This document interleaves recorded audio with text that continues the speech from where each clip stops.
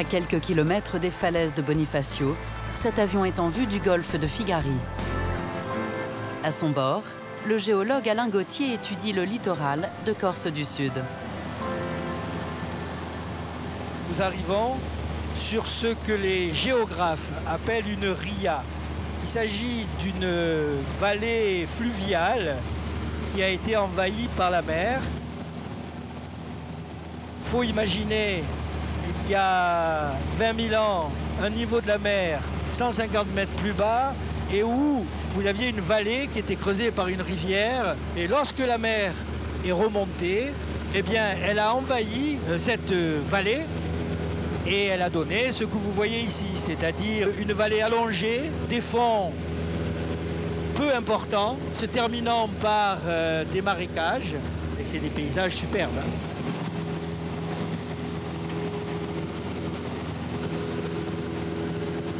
On va arriver à Rocapine, le rocher mime un lion couché et au sommet de la tête du lion, il y a une ruine qui est un ancien château qui date du XIVe siècle et dont les ruines forment la couronne du lion.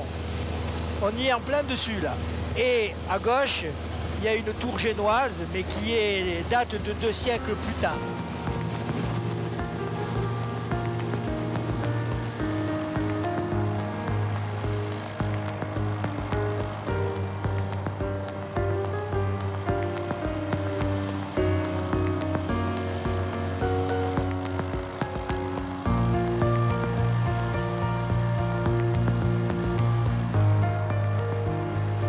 Derrière le rocher du Lion, le géologue aborde un fleuve côtier qui présente une originalité en cette fin d'été. La rivière Lortolo, quand elle arrive au bord de mer, eh bien, elle n'arrive pas à rejoindre la mer directement. Et le but contre euh, le relief, et donc elle est bien obligée à un moment donné de sortir. Ça, c'est tout à fait typique des rivières, des fleuves corses lorsque le débit est insuffisant. Là, on le voit très bien, on voit très très très bien. C'est très spectaculaire.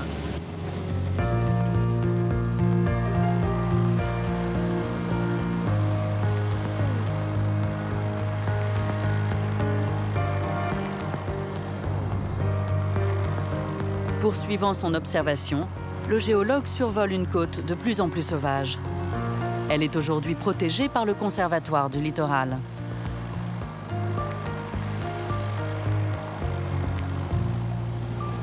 Il n'y a pas de route, donc on peut y accéder soit bateau, soit chemin de randonnée. Et d'ailleurs, vous voyez, il n'y a absolument aucune construction sur des kilomètres et des kilomètres. C'est ce qui fait, à mon sens, à mon goût, hein, la beauté de la Corse. Hein. C'est ce côté sauvage, c'est ce qu'à mon avis, il faut conserver absolument. On devine le sentier qui va passer au-dessus du phare de Sénétose et qui aujourd'hui est le dernier phare de Corse à avoir été automatisé. Il continue à fonctionner comme phare, mais il est transformé en gîte d'étape pour les randonneurs. Et au-dessus du phare, il y a la tour génoise On la voit là-bas très belle tour.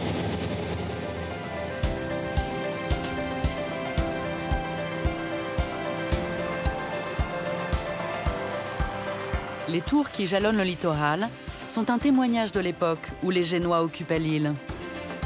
Édifiées à partir du XVIe siècle, elles servaient à donner l'alerte en cas d'invasion venue de la mer.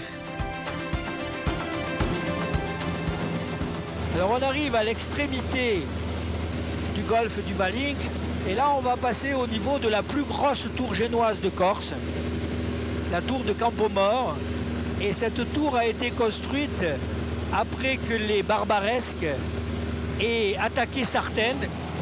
C'est une tour euh, du XVIe siècle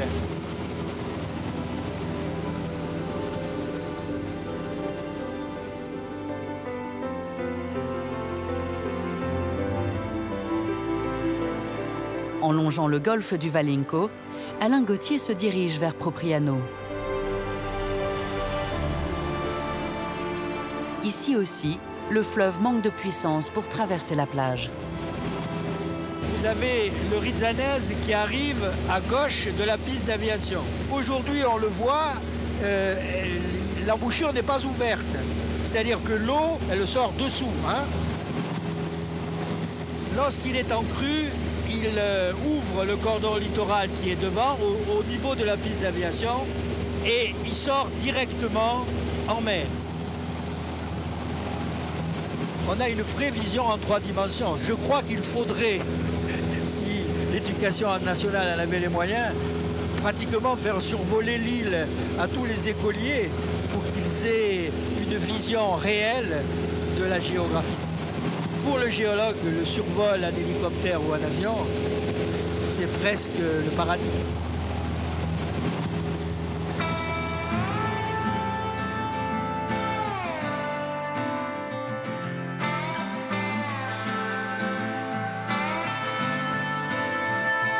Au nord de Propriano, la vallée du Taravo et sa rivière s'enfoncent dans la montagne sur plus de 60 km.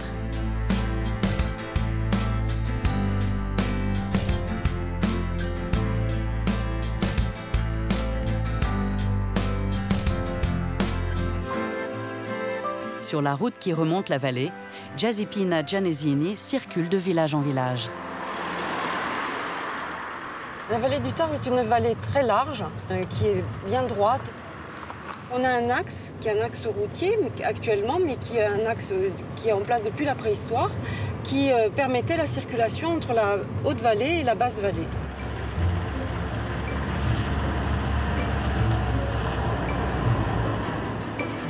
Giazippina s'intéresse à l'architecture des villages. Sa route passe par la petite chapelle Sainte-Lucie, qui a longtemps joué un rôle central dans la vallée. Cette église, elle se trouve au cœur d'un territoire médiéval, euh, donc euh, elle est extrêmement ancienne. Elle est à la croisée des chemins qui reliaient la plaine à la montagne et euh, notamment tous les villages entre eux. L'église était à l'époque le cœur de la communauté.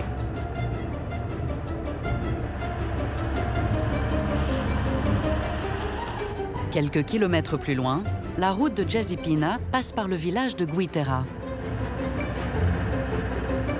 Sur les pitons rocheux euh, dominant les, villages actuels se trouvent des castèdes. C'est un terme qui signifie château.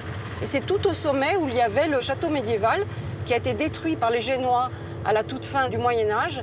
Et les seigneurs ont été contraints d'abandonner ce château et de s'implanter avec les villageois dans l'actuel village de Guitera.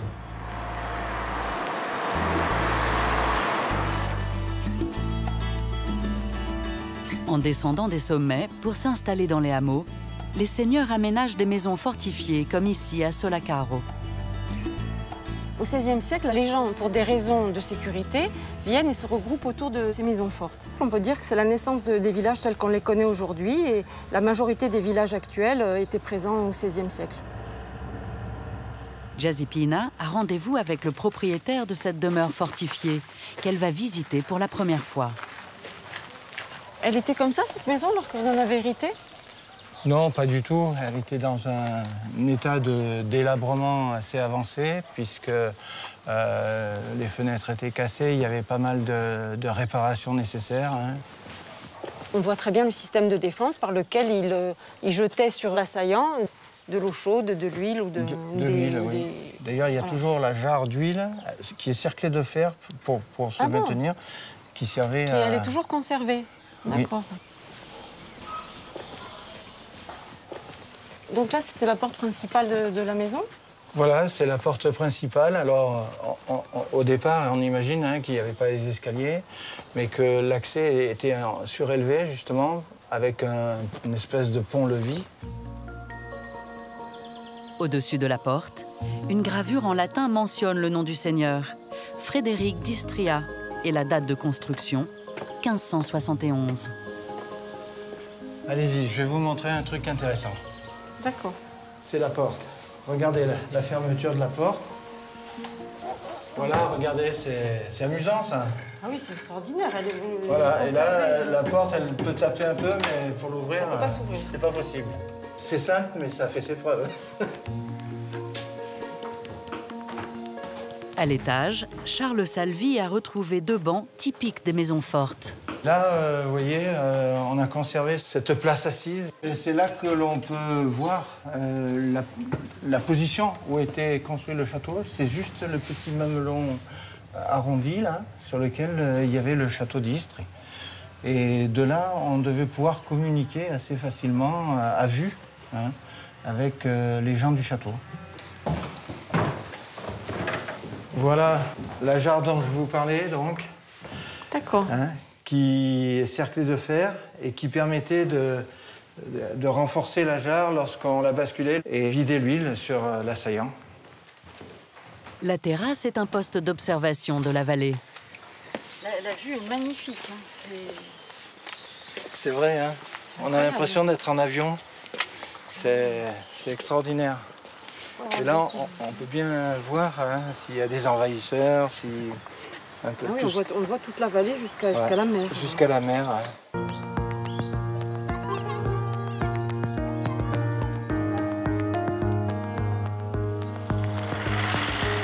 Jazipina reprend la route.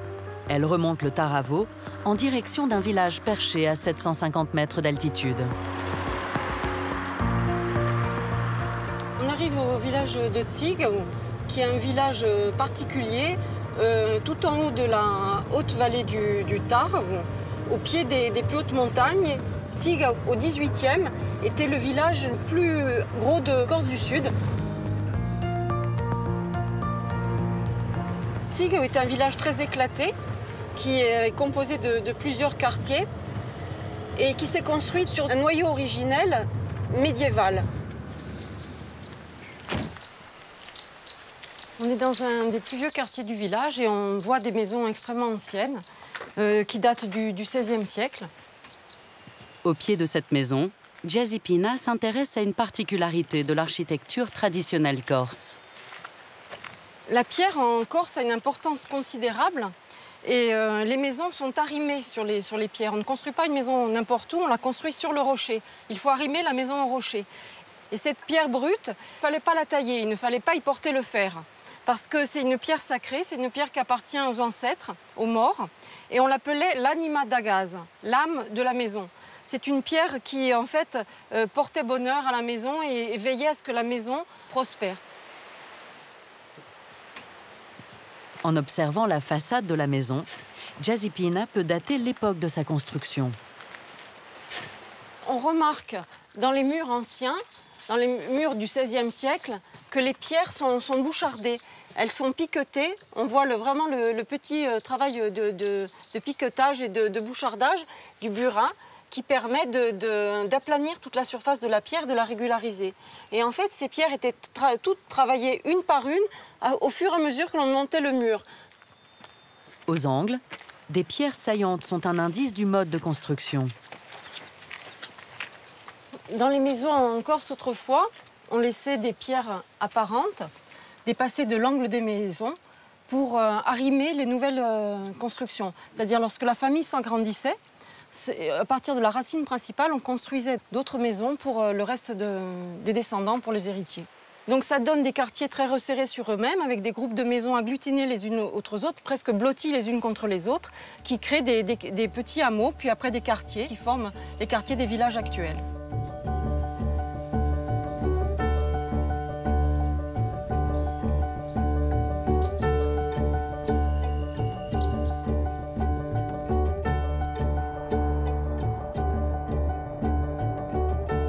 Peu plus au sud, voici la vallée du Rizzanese.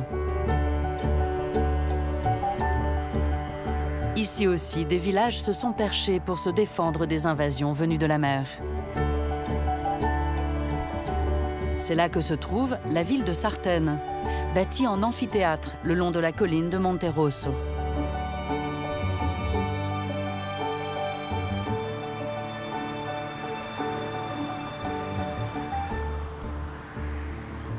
Vous avez une perspective euh, très élargie sur la vallée du, du Rizzanese et, sur le fond du golfe du Valinco. Et euh, on voit une partie de Sartène qui, constitue en fait le, nid d'aigle de, la ville. C'est suite à l'invasion et à la destruction du village de Saint-Jean-d'Orto dans la vallée voisine début 16e que euh, les habitants se sont réfugiés dans cet endroit euh, pour se prémunir d'éventuelles invasions.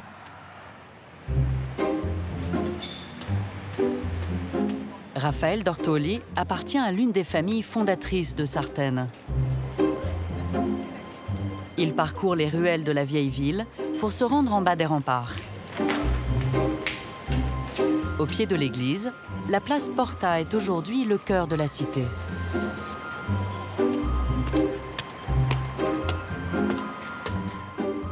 Voilà ce qui reste des vestiges de, la fortification de Sartène, c'est-à-dire une échauguette et un mur d'enceinte.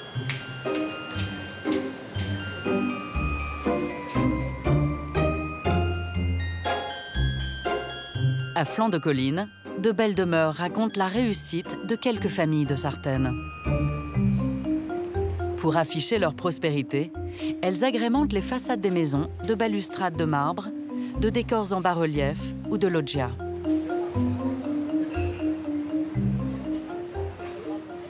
Une des particularités architecturales de la ville, c'est la présence de ces maisons de, de style toscan, construites à la fin du 19e par une génération partie en Égypte, soit faire fortune, soit faire carrière dans la haute administration égyptienne, près du Khedive d'Égypte. Ces maisons sont caractérisées par un style à la fois épuré et à la fois euh, chargé en, décoration, mais euh, tout dans le raffinement.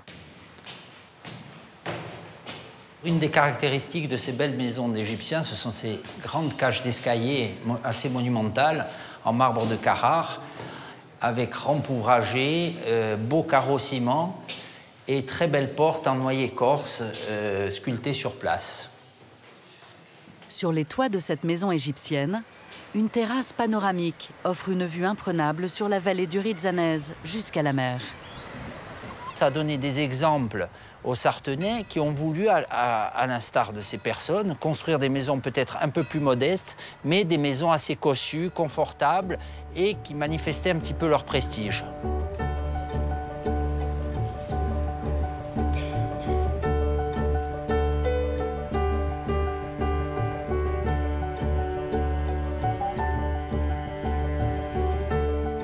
À 15 km de Sartène, dans la vallée voisine du fleuve Ortolo, ce grand domaine viticole témoigne lui aussi de la réussite d'un Sartenais qui a fait fortune en Égypte au XIXe siècle.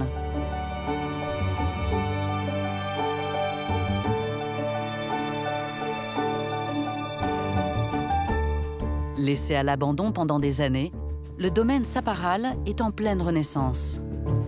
Il y a 20 ans, Julie Farinelli et son mari ont décidé de reprendre soin de ces vignes.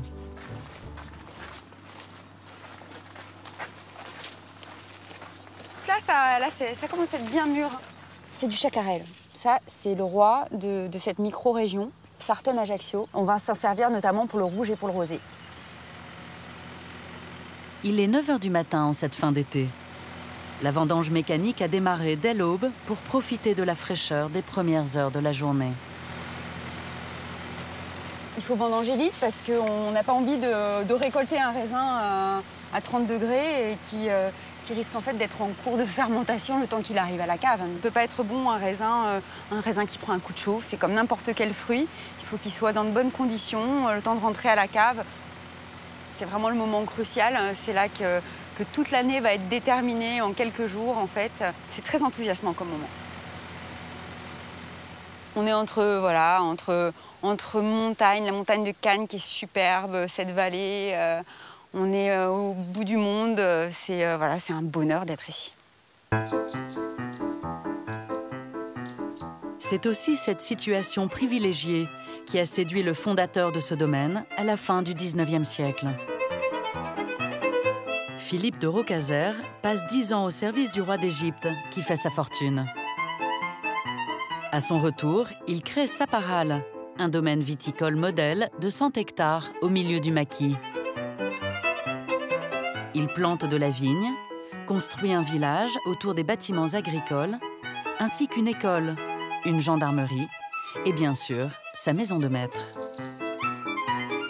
Une demeure que Julie s'apprête à restaurer en préservant l'authenticité des lieux. Voilà, alors euh, là, on est dans le salon euh, égyptien de la maison de maître. Euh, alors bien sûr, on n'a pas encore retapé cette maison, elle est encore dans son jus. mais c'est là que l'histoire de Philippe de Rocazer prend un petit peu tout son sens, hein, avec ces meubles qu'il a rapportés d'Égypte. Donc c'est un luminaire, des fresques à inspiration biblique sur le plafond des banquettes vraiment d'époque euh, qui côtoient aussi le buste, bien sûr, de Philippe de Rocazer. En bâtissant sa maison, le maître des lieux a veillé aux moindres détails. Il faut comprendre en fait que Philippe Rocazer veut vraiment faire ici un domaine modèle capable de vivre en autarcie. Donc euh, il construit cinq ou six maisons pour abriter les 25 familles d'artisans qui habitent sur place sa propre maison, sa résidence secondaire ici. Et puis, qui dit petite population locale, dit aussi euh, chapelle. Donc, au cœur de sa maison, il fait faire une chapelle. Voilà, donc c'est une petite chapelle modeste, hein, mais euh, qui avait sa raison d'être qui avait été euh, peinte par des artisans locaux hein, pour euh, tout ce qui est saint, et puis aussi par Madame de Rocazer, hein, qui avait peint toute la fresque qui est là avec les, fleurs qu'on retrouvait euh, ici, lys, géranium, voilà. Donc ça a son charme.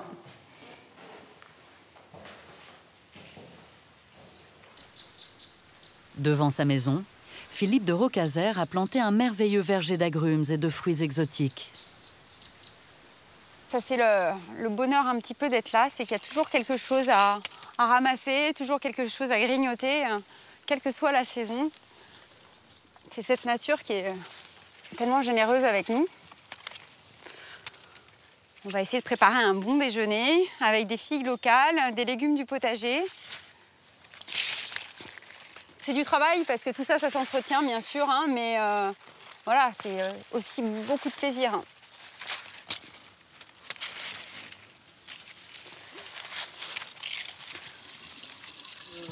Pendant ce temps, dans le chai, Philippe, le mari de Julie, surveille la vinification de la récolte. On est en train d'entonner les vins blancs de, cette année. Donc euh, ils sont à, mi-fermentation, on les met dans les, dans tonneaux et ils feront leur fermentation et leur élevage en, barrique. Comme elles sont en pleine fermentation, ça mouche beaucoup. Donc il faut qu'elles soient quand même pleines pour pas qu'elles prennent l'air, mais pas trop pour pas que ça déborde. Donc il faut régler au millimètre. Grâce à Philippe et Julie, les vins du domaine ont retrouvé leur notoriété. Aujourd'hui, ils se placent dans la lignée de Philippe de Rocazer et veulent aussi transmettre son histoire.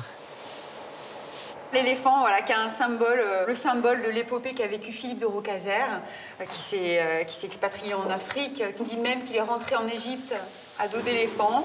Donc on a, on a voulu reprendre ce symbole qui nous permet de, voilà, d'expliquer cette histoire lui démarrant à partir de rien et, euh, développant tout ce domaine, euh, voilà, capable de vivre quasiment en autarcie. Euh, et, puis nous ensuite, Philippe, qui démarre avec un domaine complètement en ruine, donc repartir aussi quasiment de zéro, repartir bien sûr avec les vignes que son père et sa grand-mère ont plantées, mais voilà, recréer les caves, recréer les bâtiments les uns après les autres. Il y a quand même une petite redite de l'histoire.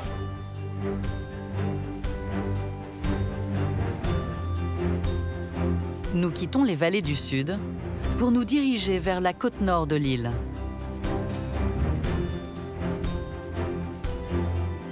Le long de cette façade ouest, la montagne plonge directement dans la mer. Les falaises découpent le littoral dans une succession de criques et de caps, comme ici dans la réserve de Scandola.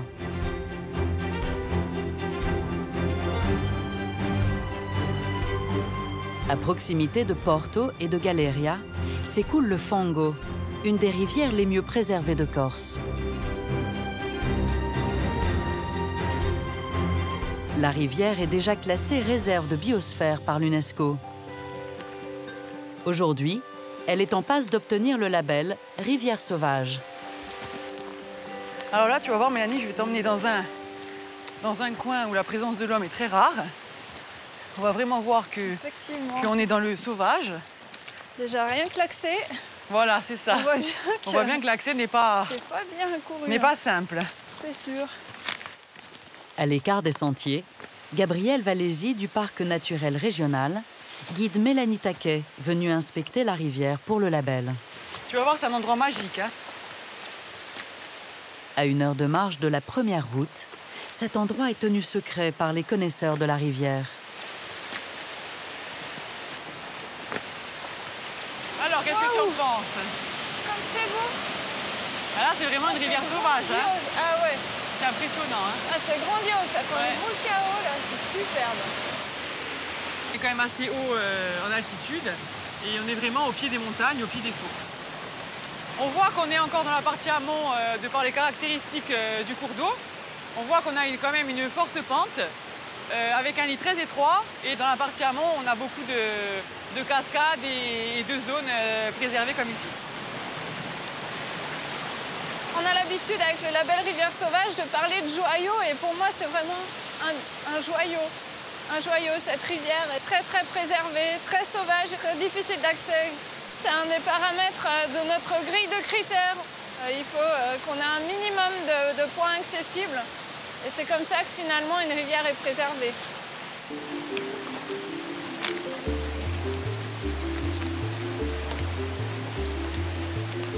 Les deux jeunes femmes poursuivent leur exploration de ce coin de paradis sauvage.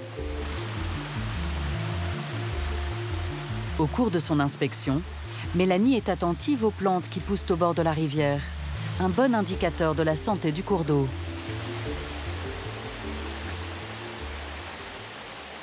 On est déjà dans un endroit où la végétation est assez luxuriante.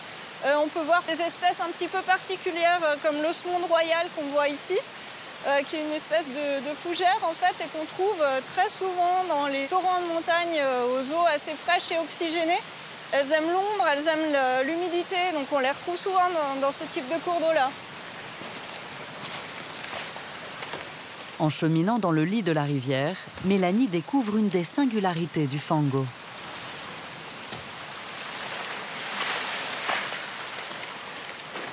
Pourquoi sont toutes rouges les pierres dans la rivière Alors ça, c'est- une caractéristique du fang. Euh, on va retrouver euh, cette couleur rose sur une grande partie du linéaire du fleuve. Et en fait, c'est une roche euh, rhyolitique, donc une roche volcanique, qu'on retrouve aussi au niveau des sources du fang. Et voilà, ça donne cette couleur rose euh, à la pierre.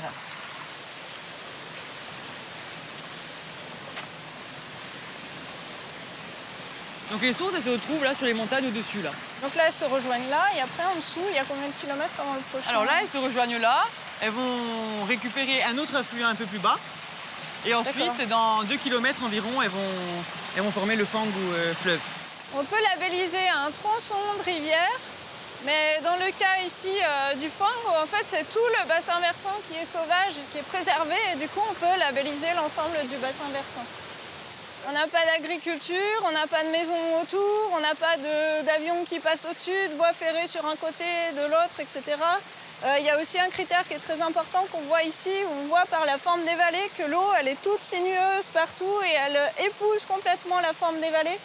Une rivière qui n'est pas sauvage, bien souvent, elle est curée, recalibrée, on la voit toute droite. Ici, non, elle, elle- circule librement partout dans toute la vallée. Ça, c'est vraiment euh, signe euh, d'une grande sauvagitude, comme on dit chez nous. On va continuer un peu plus bas pour voir le, Ouais. le reste du cours d'eau.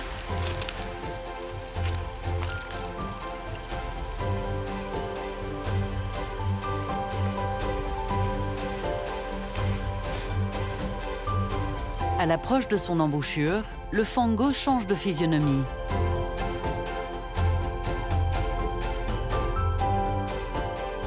Le vif torrent de montagne s'assagit et creuse un chemin rectiligne dans la roche.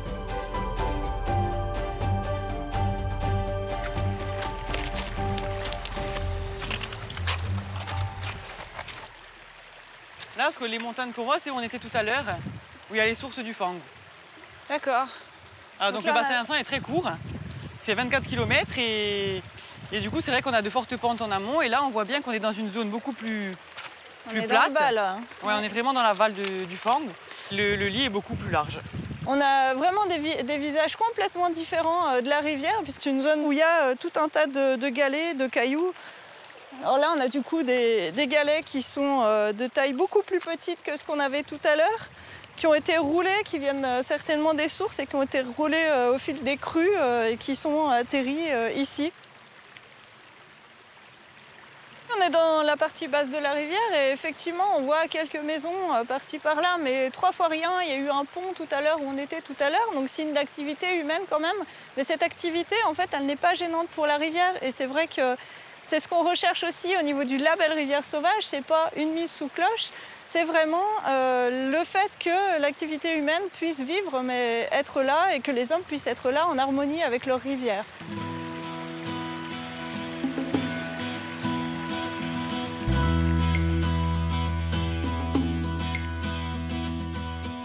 En cette fin d'été, le fango disparaît provisoirement sous les galets et poursuit un cours souterrain. Il ressurgit quelques centaines de mètres avant de se jeter dans la mer.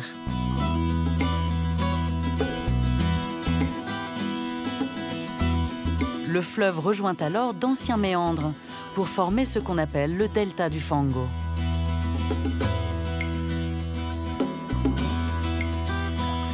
Pour la première fois, Gabriel Valézy découvre en bateau ce milieu naturel très préservé. Elle espère observer les tortues d'eau qui s'épanouissent ici le long des berges. C'est un endroit magique qui est euh, très paisible.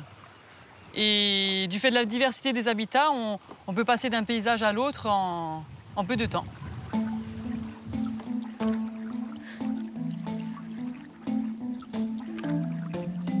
Depuis 15 ans, Anki, le propriétaire du site, organise des visites écologiques du delta. On demande aux gens d'être silencieux, de ne pas s'approcher des animaux, de ne pas faire de prélèvements de végétaux. Le but étant de visiter un petit écosystème très fragile et très joli sans le perturber, sans le déranger, sans l'abîmer. Tout le charme de l'endroit réside dans ce silence. Le, fait de ne pas parler, on va regarder plus, on va écouter plus, on va se laisser attraper par ce, une sorte d'atmosphère qui est ici, qui, est très agréable. Le bruit de l'eau, le bruit des vents d'aérosol, la beauté du site elle-même. Le petit bras, j'aime bien parce qu'il fait un peu mangrove. Hein. On va retrouver des milieux humides, euh, donc, euh, comme les bras morts ou le bras vivant. On va pouvoir retrouver aussi des milieux très secs, comme là-haut les plages de galets. Et c'est tous ces habitats différents qui font que le delta a une biodiversité très importante. La protection de ces berges fragiles est l'une des priorités d'Anki. Tu vois, Gabi, ça, c'est toute la partie que je n'ai pas, pas encore pu protéger parce qu'il faudrait que je clôture beaucoup plus loin. Et là, tu peux prendre constat de, de ce que j'appelle un, surpâturage bovin intensif. Depuis qu'il limite le piétinement des animaux, Anki a vu les nénuphars proliférer de nouveau sur les rives du delta? Moi, je pense que c'est quand même bien de protéger. Sous cette végétation, il y a toutes les petites mares temporaires où il y a toutes ces larves de libellules, les petits tétards, les petites grenouilles. Et, ça, ça a besoin de, tranquillité pour évoluer.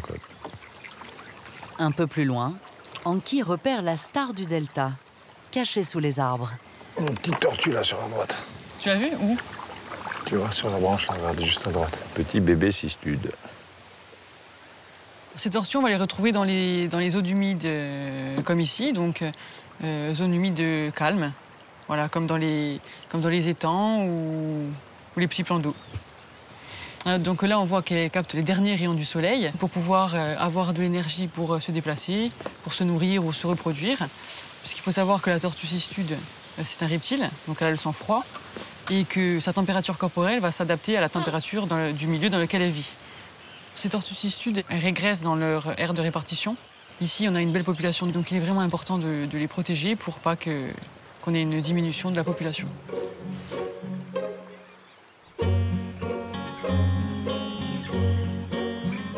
Nénuphars et, les tortues cistudes en arrière-plan. C'est très, très, beau.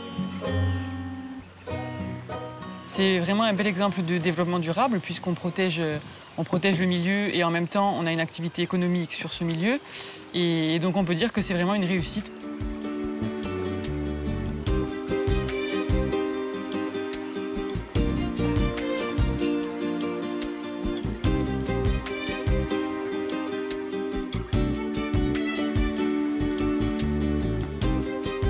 En haut de la vallée du Fango, un chemin permet de franchir un col pour rallier le centre de la Corse.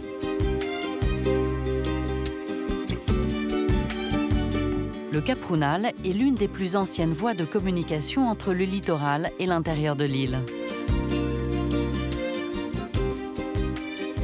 Mais aujourd'hui, ce chemin n'est plus entretenu et menace d'être emporté par les intempéries. Pour le sauver, une équipe travaille à son classement et sa réhabilitation en chemin de randonnée. Ce chemin s'appelle Caprunal puisqu'il servait à, la transhumance. Hein, Caprunal, ça vient de chèvre, de caprin. Donc les bergers, avec leurs troupeaux, leurs familles, partaient des zones de plaine et du littoral, où ils passaient l'hiver, pour regagner la montagne en estive pour passer l'été. Les randonneurs attaquent les pentes les plus raides du sentier. Ici, le chemin est protégé par des murs sur plusieurs centaines de mètres. Des travaux colossaux réalisés au XIXe siècle pour aménager une véritable route forestière.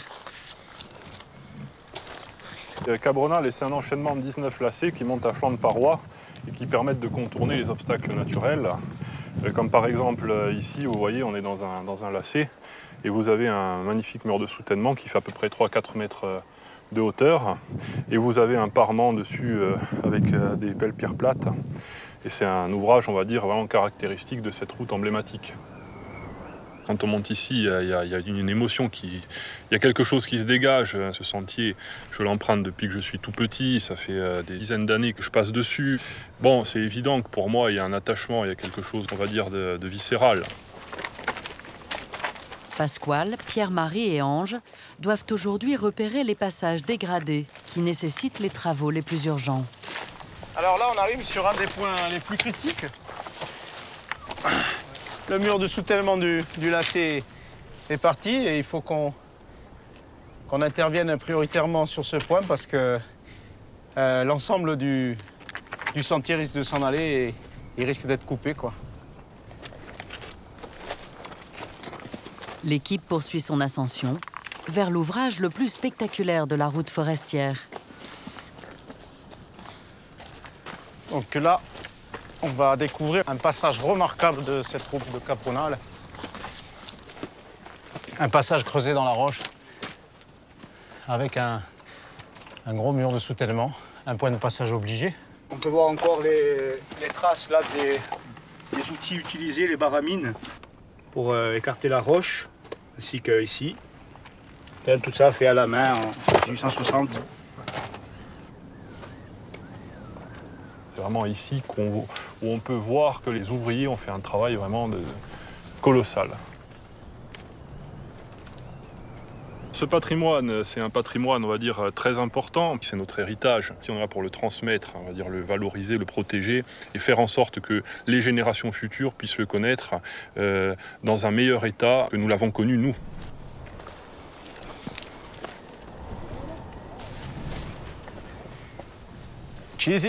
On y est. Après trois heures d'effort et 800 mètres de dénivelé, les randonneurs parviennent enfin au col de Caprunal. Là, on voit bien la profondeur de la vallée, les 800 mètres. Mais surtout, on découvre l'autre vallée. La longue. Avec ses pins. Et on change de département aussi. Aujourd'hui, ce chemin, euh, il est utilisé, euh, on va dire, euh, exclusivement par des randonneurs, euh, des passionnés, des amoureux de, la nature, des amoureux de cet endroit. Mais on ne désespère pas qu'un jour, il y a un berger qui euh, refasse la transhumance à l'ancienne, c'est-à-dire qui reprenne la trace de, ses prédécesseurs pour remonter son troupeau dans le gnôle.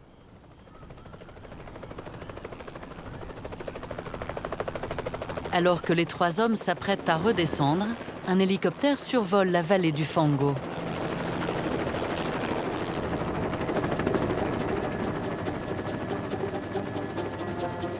À bord de l'appareil, une équipe est à la recherche d'un véritable trésor biologique.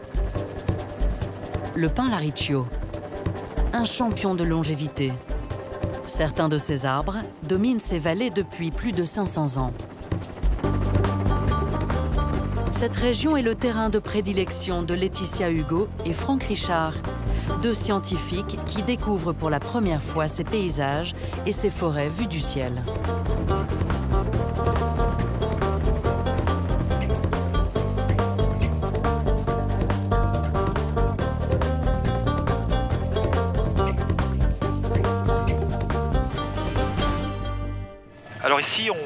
D'une caractéristique de cette région de Corse, c'est combien la roche est dure.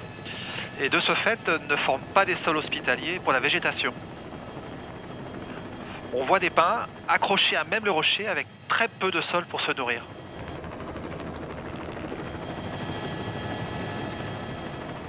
C'est extraordinaire ici. euh, Ce peuplement, il est extraordinaire. Il est vraiment âgé et on voit les arbres qui font cette forme tabulaire au sommet de la canopée. Ils sont magnifiques ces arbres. Cette forme caractéristique traduit l'âge extrêmement avancé des arbres. Sous les yeux des deux chercheurs défilent des pins de plusieurs centaines d'années. Pendant des millénaires, l'insularité a permis ici le développement de ces arbres singuliers. Suspendus entre ciel et terre, ces pins lariccio nous ouvrent les archives des temps géologiques. Franck et Laetitia retrouvent l'époque de la Corse volcanique. Ça, c'est des coulées de lave qui, en durcissant, ont formé ces roches très dures. Et on voit le passé géologique de la Corse qui a laissé des, empreintes incroyables ici. On a un boulot là au milieu et on a un vieux boulot tout seul dont on se demande comment il est arrivé là. Il paraît ridicule à côté des pins Larich. Et on voit combien ces arbres sont majestueux, combien c'est eux qui occupent tout le paysage. Un peu plus loin, en rasant la paroi, les chercheurs découvrent un autre peuplement.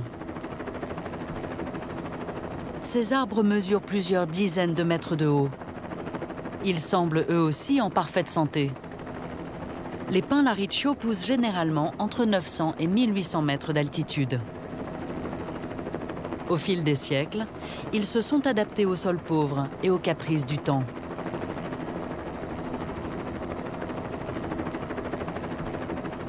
Quand on est là, on peut se dire que très peu de botanistes ont traîné leurs yeux ici et on découvre des choses superbes.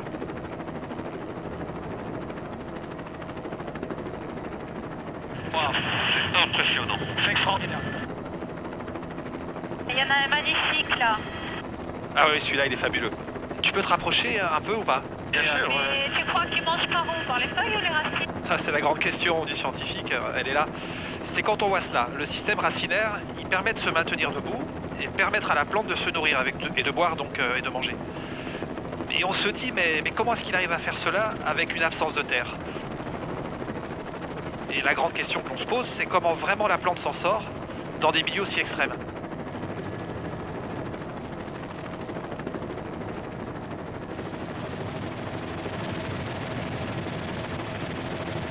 Et Franck et Laetitia ne sont pas au bout de leur surprise.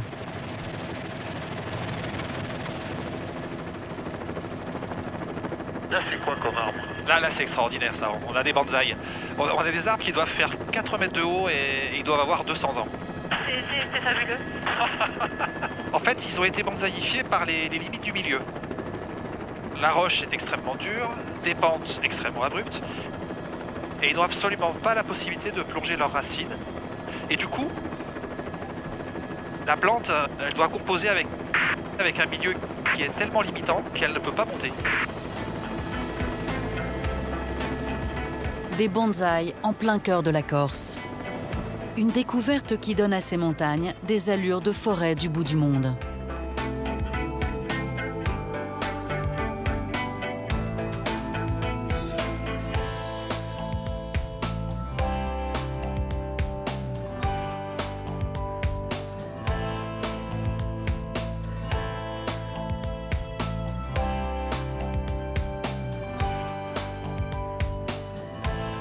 Après avoir parcouru les falaises qui bordent la forêt de Lonca, Franck et Laetitia se dirigent vers un sommet mythique de la région.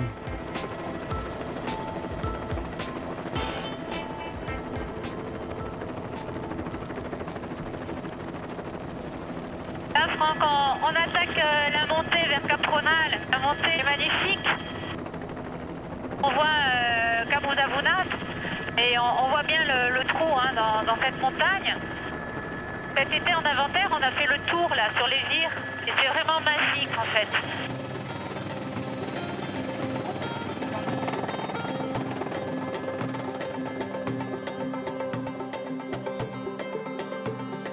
Le Capo Tafonatu, la tête trouée en Corse, est une curiosité géologique unique.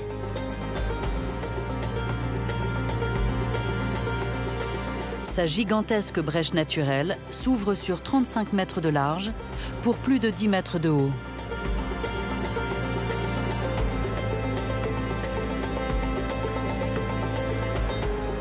La légende raconte que c'est Satan en personne qui aurait creusé ce trou.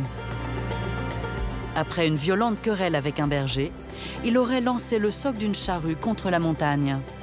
Dans son élan, l'outil se serait brisé net, transperçant ainsi la pierre. Les routes qui franchissent les montagnes et parcourent ces vallées font aussi la réputation de l'île.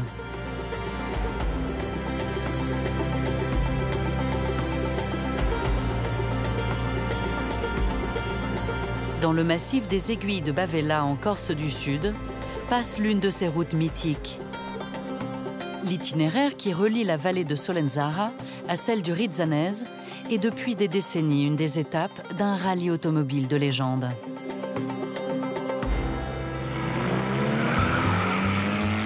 Le Tour de Corse, dont la première édition date de 1956.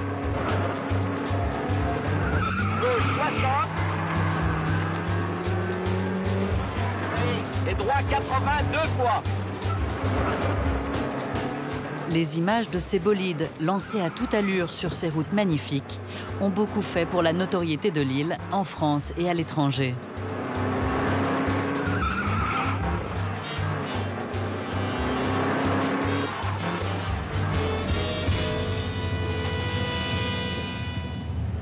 Ces routes continuent de passionner deux amoureux de course automobile.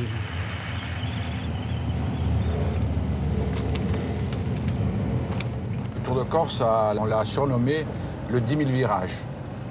Et en réalité, il y en avait plus de 21 000. 21 000 virages. Ben, je ne sais pas si vous remarquez, depuis tout à l'heure, euh, je ne fais que tourner le volant. Ben oui, oui, oui, oui, oui. Il n'y a pas un moment où... Voilà, Oui, les lignes droites, il n'y en a pas beaucoup. hein. Non. Ce matin, ils passent au pied des aiguilles de Bavella.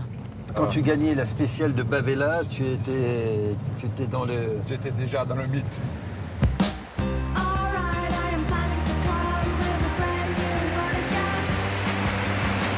Au volant de cette DS de 1974, José Andreani prépare les étapes du Tour de Corse historique, une course de voitures anciennes.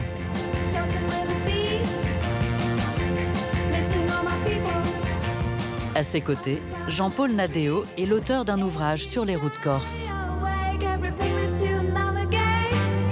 Cette route, elle a été euh, construite, tracée, je vais dire, euh, euh, sensiblement au 19e siècle pour euh, l'exploitation des forêts. Il y a énormément, on le voit autour de nous, énormément de pins. Ces fameux pins Lariccio, qui sont des pins immenses, qui, sont, euh, qui, peuvent atteindre une altitude de 40 mètres. Et on venait ici euh, récupérer le bois pour fabriquer des coques de bateaux.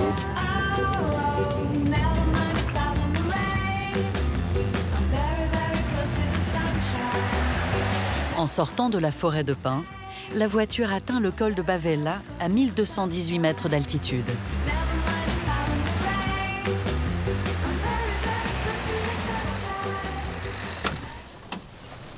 Oh, l'air pur, quel bonheur. On a toutes les aiguilles de, Bavella, il y a sept aiguilles de Bavella, elles sont toutes numérotées. Et le, le plus haut sommet, là, c'est la Punta Alta, qui culmine à 1880 mètres euh, à peu près. Et les passionnés d'escalade viennent très souvent euh, grimper dans ces voies qui sont, euh, qui sont absolument extraordinaires. Quoi. Au pied de la montagne, une statue de la Vierge commémore une chute de neige miraculeuse en plein été à Rome au 5e siècle. Alors voilà, Notre-Dame des Neiges. Notre-Dame des Neiges. Depuis 1953, les fidèles viennent ici déposer bougies et offrandes pour honorer la sainte patronne de la Corse. C'est un peu les ex-voto de la montagne, quoi. C'est en plein air en plus, on n'est pas dans, une, dans un bâtiment, dans une église, on est euh, à l'extérieur.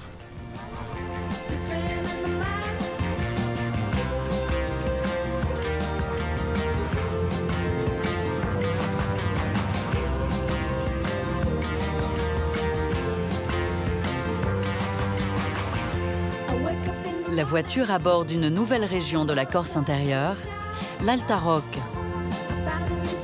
Voilà, donc là, on bascule sur la vallée de Rizzanese. Là, hein, les paysages sont fantastiques, fantastiques. On a une, une vue extraordinaire, euh, on voit loin.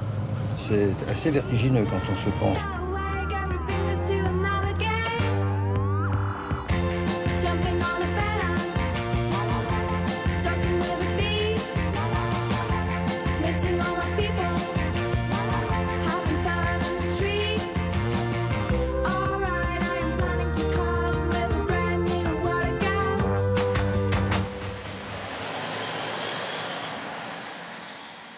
Lévis. Alors Lévis, c'est la capitale de l'Alta Rocca. Euh, étymologiquement, Lévis, c'est Ivia, les voies. Le, le- le carrefour. village est au centre entre les pâturages, la montagne et la mer. Il y a une magnifique église, l'église Saint-Nicolas. Euh, Santa Carucci, on dit en Corse, hein, je crois. euh, Santa Carucci. Elle a été construite avec ce qu'on appelle, nous, de la pierre tout venant. Ça veut dire qu'elle n'a pas la régularité des autres maisons qu'on peut voir aux on alentours. peut voir autour, quoi.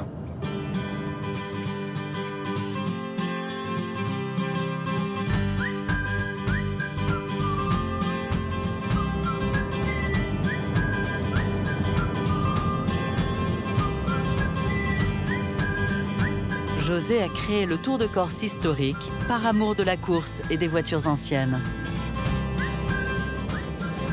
C'est une vieille dame, là, hein, quand C'est même. une hein. vieille dame, mais qui se comporte plutôt pas mal. Agréable, euh, elle est confortable.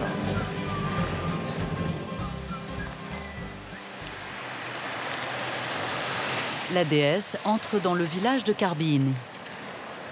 Avec son campanile séparé de la nef, cette église de style pisan est l'une des plus anciennes de Corse.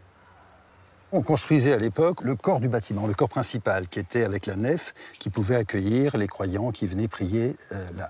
Et puis on n'avait pas toujours les moyens de faire en même temps euh, le clocher. Donc quelques années après, eh bien, on a développé le campanile euh, lorsque les moyens étaient là pour accrocher les, cloches.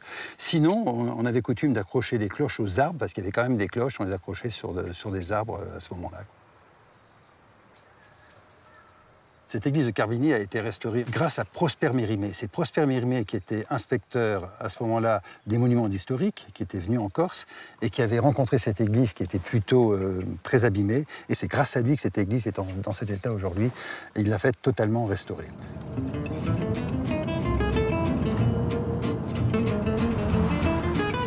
Les deux hommes reprennent la route en direction de l'ancien fief des seigneurs de la Rocca.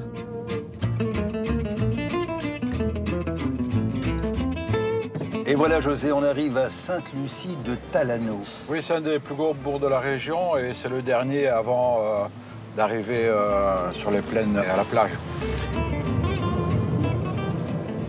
Alors sur notre droite, là, on aperçoit l'ancien château fort de la famille de la Rocca qui s'est transformé un peu plus tard en couvent, c'est le couvent Saint-François. Couvent Saint-François, occupé par le moine franciscain.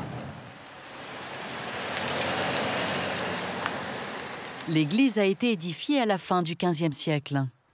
À côté, il ne subsiste du cloître qu'une seule galerie à cinq arches. Depuis le promontoire qui domine le village, on surplombe l'une des richesses de l'Alta Rocca. Regarde les champs d'oliviers, là. Ces champs d'oliviers. Alors là, il y a une olive qui s'appelle la germaine, qui produit une huile extraordinaire. C'est une spécialité de Sainte-Lucie de Talane et cette huile est, est très réputée. C'est absolument remarquable. Et on a une couleur, des couleurs. Moi, c'est un, un village que j'apprécie beaucoup.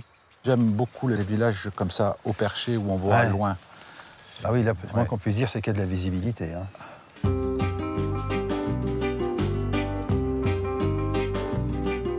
Après Sainte-Lucie de Talano, la route continue de descendre vers Sartène et la côte ouest de l'île.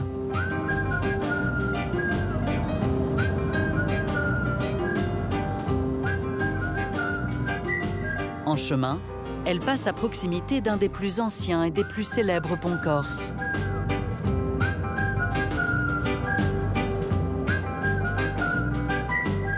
Ici, on l'appelle Spina Cavallo, le dos de cheval.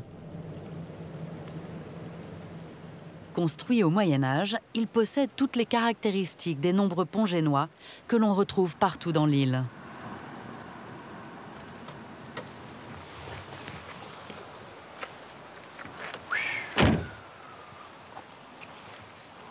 José, regarde ça. Ouais. Magnifique. Regarde cet, cet arc parfait que fait l'ombre qui est porté là. Ouais, c'est magnifique. hein. Les ponts génois ben, sont des ponts qui ont été construits à l'époque génoise, donc entre le XIIIe et le XVIe siècle, et ils ont tous sensiblement la même architecture. Celui-ci doit avoir à peu près une largeur de 14 mètres euh, à sa base, une hauteur de 8 mètres, ils sont très pentus. Celui-ci s'appelle le dos de cheval, et on, on comprend bien pourquoi euh, il s'appelle comme ça. Et puis, euh, il permettait de transférer les marchandises, de communiquer avec les différents villages qui étaient dans la montagne. L'arche unique a permis à l'ouvrage de résister aux crues et de traverser les siècles. On voit bien euh, l'ancrage sur, le- sur la roche. Sur la roche en bas, ouais. Les ponts génois étaient construits dans des endroits adaptés, c'est-à-dire qu'on choisissait l'endroit euh, le plus étroit possible pour permettre d'être fixé sur, euh, sur la roche. C'est ce qui évitait euh, la construction de piliers enfouis et, ce qui fait aussi qu'avec les éperons, ils sont pratiquement indestructibles.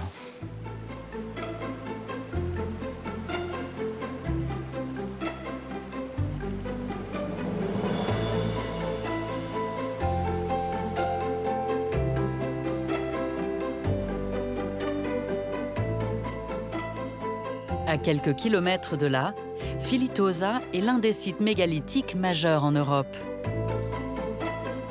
70 pierres sculptées aux formes humaines ont été découvertes ici. Ces statues menhirs sont souvent en lien avec l'eau, avec des sources, avec des rives, euh, avec euh, des ruisseaux secondaires. C'est une façon de marquer une territorialité. hein, euh, on marque ainsi la, la- présence d'une communauté sur une source en implantant un monument emblématique. C'est là qu'on a découvert les plus anciens vestiges, les plus anciens ossements dans la vallée. L'histoire de la Corse commence ici. Certaines sculptures découvertes à Filitosa datent de 1200 ans avant notre ère. Regroupées dans une mise en scène spectaculaire, elles constituent une formidable collection d'art préhistorique. On a ici une des plus fortes concentrations de statues menhirs en Méditerranée, avec des statues qui sont particulièrement détaillées à l'effigie des guerriers de l'âge du bronze. Ici, il s'agit d'une des statues menhirs les, plus détaillées euh, du site, représentation donc de, guerriers avec un, casque proéminent, une protection euh, nasale ici, et puis euh, la figuration du, menton et de, la bouche. Dans le dos, des attributs géométriques Ici, des arcs de cercle, là. Et puis ici, un, motif euh, triangulaire. Alors ici, on est sur la représentation d'un casque un petit peu bombé. Et là, probablement, la représentation d'une cuirasse avec des lanières euh, en cuir qui, qui maintenaient des plaques euh, en métal.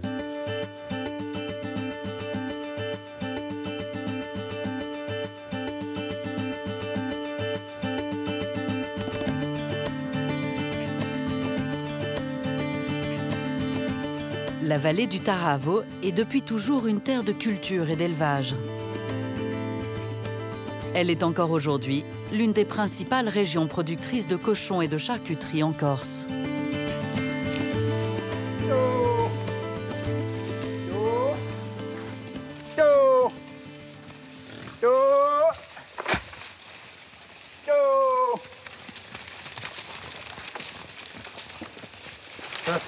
Cochons qui vont rester à peu près encore euh, un mois là-dessous. Entre 25 et 30 jours. Stéphane élève ses cochons toute l'année en plein air. Yo Yo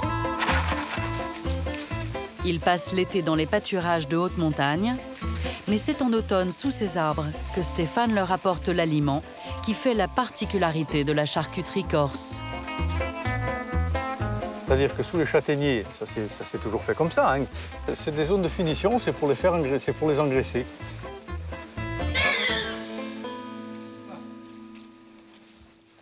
La châtaigne est très sucrée, on le voit quand on fait la farine. hein, et ça, donne un, un goût spécial euh, à la charcuterie. J'adore le châtaigne. L'alimentation ne fait pas tout. Pour obtenir l'appellation d'origine protégée, Stéphane n'élève que des cochons de race locale. C'est des cochons de, race corse qui vont servir pour faire de la charcuterie à OP. C'est une race qu'on a, qu'on a reconnue, ça fait à peu près une dizaine d'années, 10-12 ans. On le voit déjà par rapport aux pieds, c'est des, pieds assez fins. Regarde, euh, c'est pas des gros pieds comme ce cochon de race, qui c'est des pieds, assez fins. C'est les oreilles tombantes comme ça, c'est euh, tu vois, qui tombent comme ça sur les yeux. C'est un museau assez allongé aussi, c'est pas un museau court, tu vois, comme euh, donc c'est des cochons de, race euh, nostrale. Nostrale, ça veut dire la nôtre, donc c'est notre race. Stéphane n'élève qu'une cinquantaine de bêtes qu'il engraisse durant deux ans.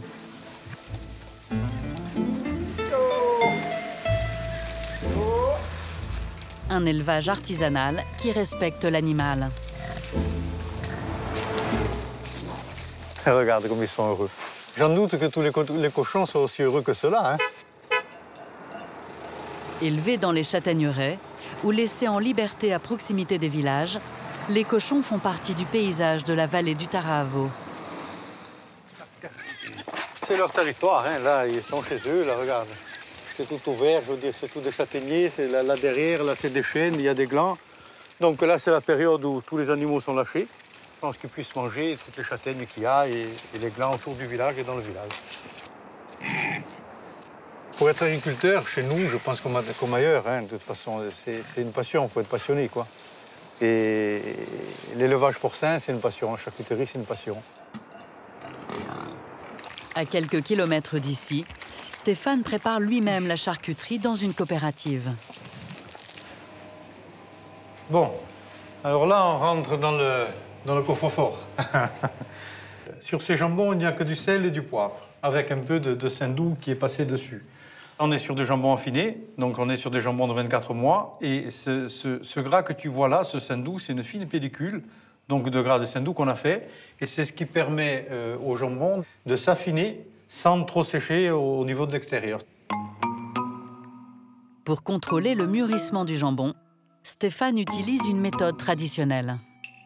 C'est au nez, c'est le nez, qui va faire en sorte que on va savoir si le jambon est prêt à être vendu ou pas.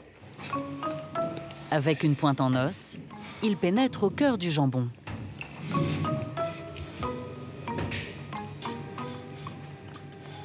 Ah, c'est un parfum, c'est l'odeur que c'est l'odeur qui dégage quand il, quand, quand il est mûr. C'est, c'est... Je sais pas, je sais pas comment l'expliquer exactement, mais c'est extraordinaire. C'est, c'est, c'est un parfum qui, qui te prend le nez, qui, qui te donne envie de le couper. Pendant la saison de la charcuterie, Stéphane réunit régulièrement ses amis pour une dégustation de ses produits. L'occasion de préparer le figatel, la saucisse à base de foie de porc. Mais tous les lundis, il y a, il y a tous les, des gens, des amis qui montent, ils savent que le lundi on découpe. Et après, c'est un peu la fête, on goûte tous les produits, on fait toute la saison. Tous les lundis, c'est ça. Alors, il y a- il y, a des gens de toute la vallée. Hein.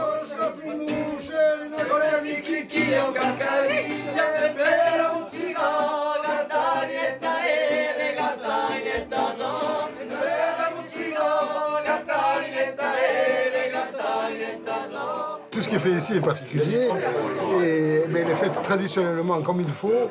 Euh, c'est des habitudes et c'est le partage, c'est la, convivialité.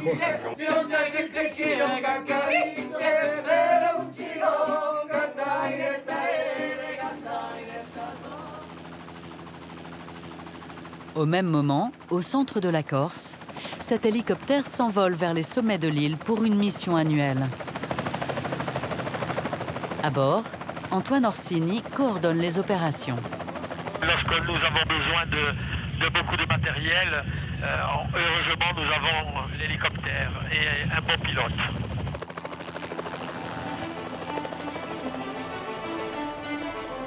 L'hélicoptère passe d'abord à proximité du Monte Cinto, le plus haut sommet de Corse.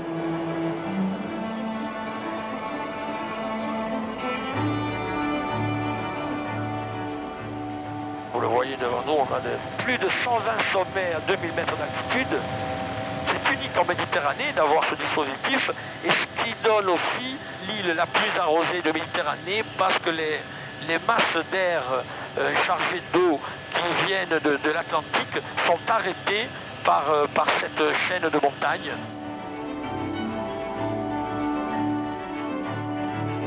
Antoine Orsini étudie la diversité des rivières qui coulent le long de ces pentes. L'hélicoptère explore d'abord le versant ouest de la montagne, le plus proche du littoral. Il suit les pentes abruptes à la recherche des sources du Porto, un cours d'eau presque à sec en cette fin d'été. Dans ces rochers, on a de multiples euh, petits juintements qui donnent après des petits ruisseaux et qui vont former ce- ce- ce- cette, rivière. Donc on voit bien une des sources donc, du, Porto.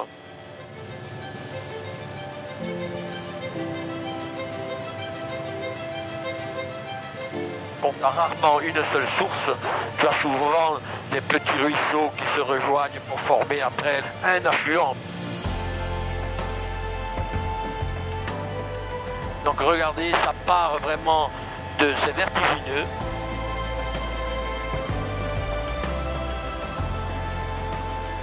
Alors de temps en temps, les, les rivières ont creusé quand même ce granit pour former ces espèces de piscines naturelles. C'est le mélange eau et sable qui attaque la roche.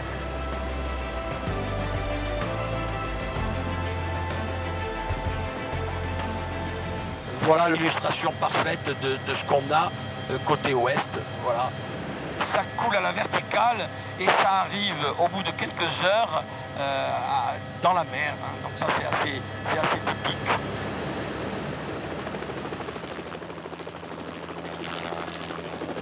En suivant le cours du fleuve, l'hélicoptère quitte très rapidement la haute montagne.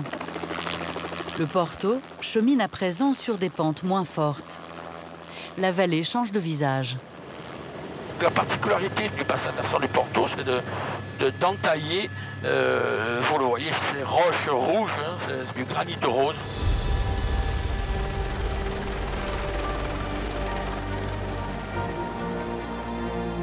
Adossé à la muraille de granit rose, le village d'Ota surplombe les dernières boucles de la rivière.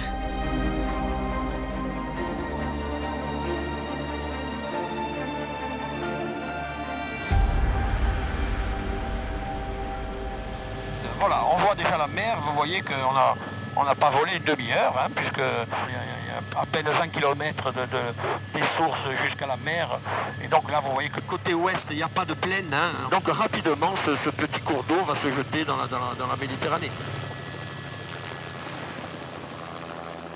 Signalé par sa tour génoise, le golfe de Porto, ses calanques et sa réserve naturelle est un site inscrit au patrimoine mondial de l'UNESCO. La plage de Porto est assez réputée parce que c'est quand même une plage euh, relativement importante. Alors souvent les gens pensent que c'est du sable qui a été ramené. Non, non, c'est du sable qui a été amené par la rivière, hein, euh, par le Porto qui charrie des, sédiments pendant la période de hautes eaux. Donc euh, là on a vraiment du sable de rivière et, et pas du sable de mer.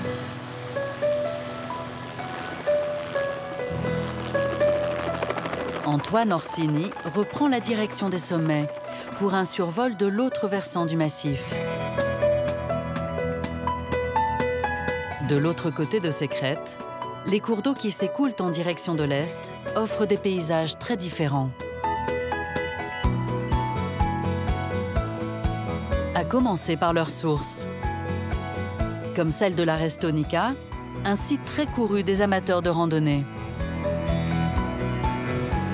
La différence avec les, rivières qui coulent à l'ouest, puisque la Restonica coule à l'est, ces rivières partent de lacs souvent. hein. Donc là, on a une enfilade de deux lacs, le lac du Melo, le lac de Capitello. Dans la haute vallée, euh, les glaciers, il y a 14 000 ans, ont façonné la vallée. Ici, on voit très bien droit devant la fameuse vallée en auge, euh, c'est-à-dire une vallée en U, donc très, très relevée. Donc on imagine là le glacier qui est en train de raboter et donner cette forme-là.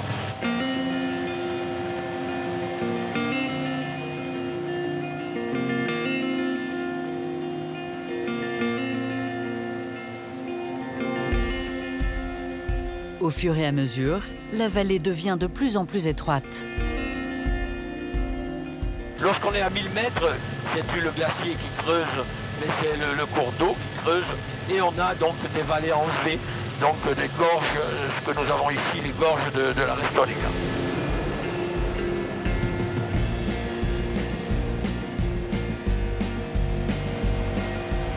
On quitte les gorges de la Restonica et on arrive euh, sur Corté. On voit déjà que la vallée elle est plus large. Corté est la ville natale d'Antoine. On a sur notre gauche la, la- la citadelle de Corté et la vieille ville. hein.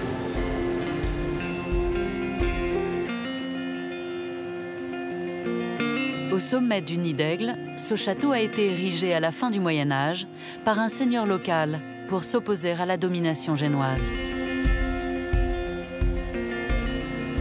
L'installation de Corté, elle n'est pas due au hasard. Corté est installé à la confluence entre la Restonica et le, Tavu- et le Tavignano. Donc on a le Tavignano devant et on a la Restonica sur notre gauche. Antoine fait à présent demi-tour et prend la direction des sources du Tavignane pour rejoindre son équipe. Ça fait quelques années que je, sévis dans ces montagnes, euh, pas seulement lorsque j'étais gamin, lorsque j'allais à la pêche, mais après j'en ai fait mon, laboratoire d'études. Et là, depuis, depuis 30 ans à l'université, c'est la zone qu'on étudie le, le plus. Le but de sa mission, c'est le lac de Nino et ses podzines, une zone humide caractéristique des montagnes corses. Un milieu fragile dont Antoine surveille très attentivement l'évolution.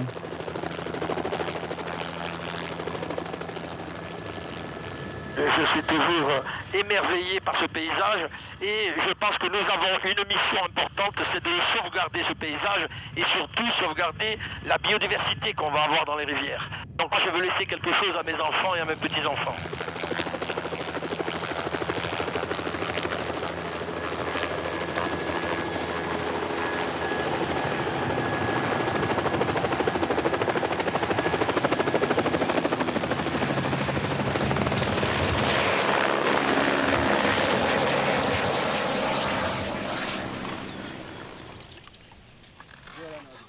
Pendant que l'équipe se prépare, Antoine part inspecter la source du Tavignano.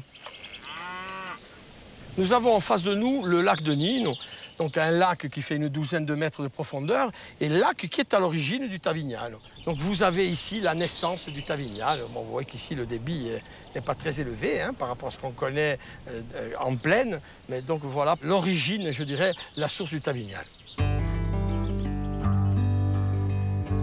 En aval du lac, la rivière naissante se ferait un chemin dans la tourbière parsemée de multiples trous d'eau, les podzines.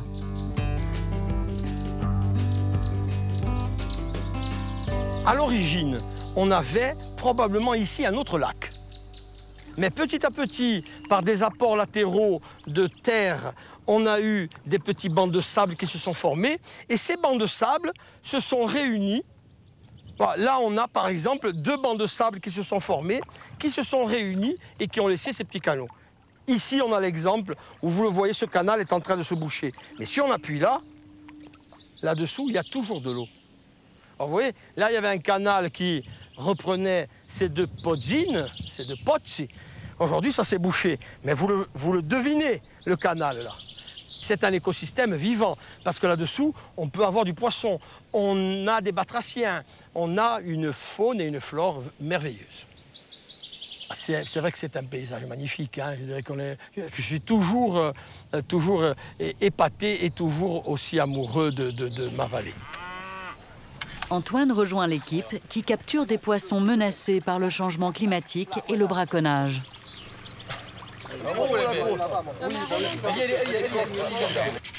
Mais là, on est en train de faire une pêche électrique, hein, c'est-à-dire qu'on fait un petit champ électrique là, une petite surface dans l'eau, qui attire le poisson, qui le tétanise et qui l'attire vers la perche qui est devant nous. Et de suite, avec on le récupère. Il faut vite le capturer et tout se passe très bien. Ce recensement, qui a lieu chaque année au même endroit, permet de suivre l'état de santé de ces petites truites endémiques des rivières corses. C'est un beau spécimen. Elle est, elle est assez grosse pour le site. hein. En montagne en Corse, les truites n'ont pas des tailles énormes. Donc ça, une vingtaine de centimètres, c'est déjà une belle truite de montagne chez nous. Il faut savoir qu'en Corse, nous avons euh, deux souches de truites locales. hein. C'est des véritables trésors de nos rivières. Des analyses génétiques permettent de s'assurer que la truite corse est toujours bien présente ici. Les généticiens nous disent c'est une méditerranéenne plutôt plus corse que méditerranéenne. Donc c'est là qu'on touche à ce que disait Pagnol de l'authentique. Là on a, on a vraiment la génétique de la Corse, c'est ça. Donc c'est notre patrimoine génétique et euh, qui était là avant, avant que l'homme mette le pied, mette le pied sur, la- sur, la- sur l'île de Corse. hein. On, on les remet à l'eau, on les remet dans leur milieu pour, on l'espère, les recompter l'année prochaine, elles et leurs descendants. hein. Apparemment, les, les densités de poissons, c'est comparable à ce qui, a été pêché l'an dernier. Ça veut dire qu'il n'y a pas trop eu de braconnage. Et on revoit rapidement les, truites retrouver leur, euh, leur biotope de prédilection. En recensement piscicole, je dirais que ce n'est pas la connaissance pour la connaissance. C'est la connaissance pour mieux euh, faire prendre conscience aux gens de la richesse que nous avons. Les recherches d'Antoine doivent se poursuivre plus bas dans la vallée. Le canyon du Tavignano est l'autre endroit sensible de la rivière. C'est ici qu'Antoine continue ses investigations. Regarde, tu vois, là, il n'y a pas trop de fond, tu vois. Il y a, a 3 ou 4 mètres. Accompagné par sa fille, elle aussi hydrobiologiste, il remonte la rivière qui creuse ici la roche à la verticale.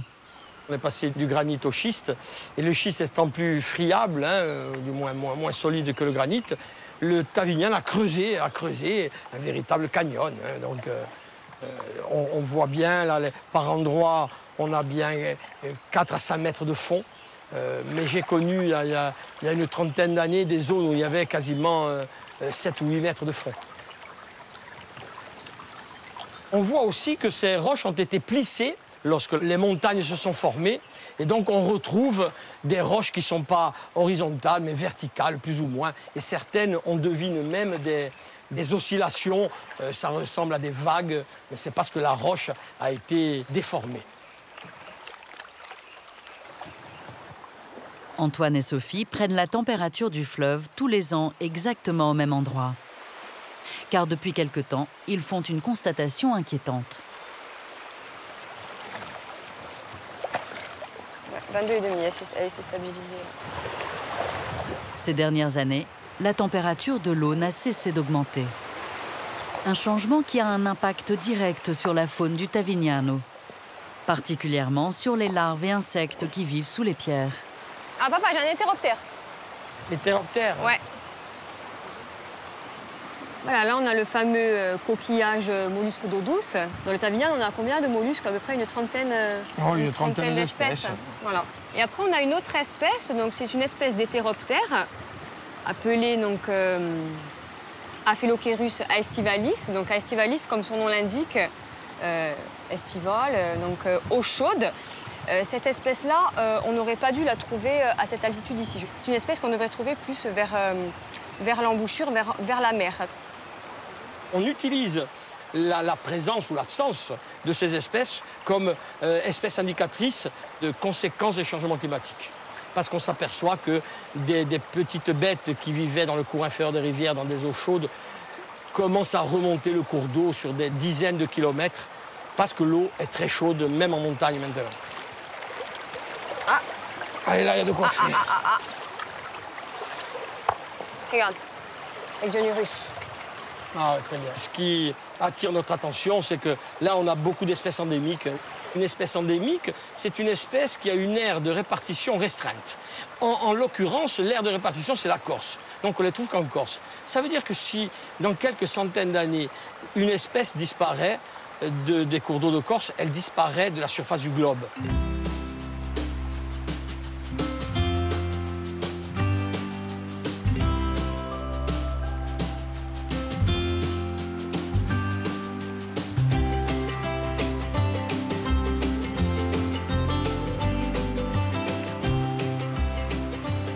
Avant d'en faire mon métier, c'était ma passion.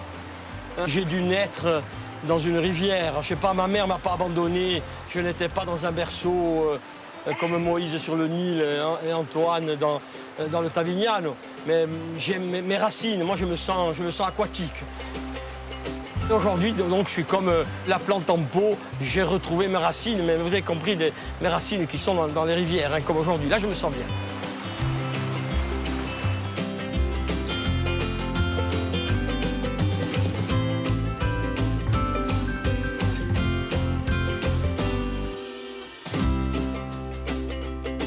Avant de se jeter dans la mer, le Tavignano traverse la plaine orientale. Sur ses rives s'étend un territoire très favorable à la culture des arbres fruitiers. Sur ces coteaux ensoleillés, la clémentine est devenue en quelques décennies un produit d'excellence dont l'image est liée à la Corse. Nous sommes en novembre, c'est le temps de la récolte.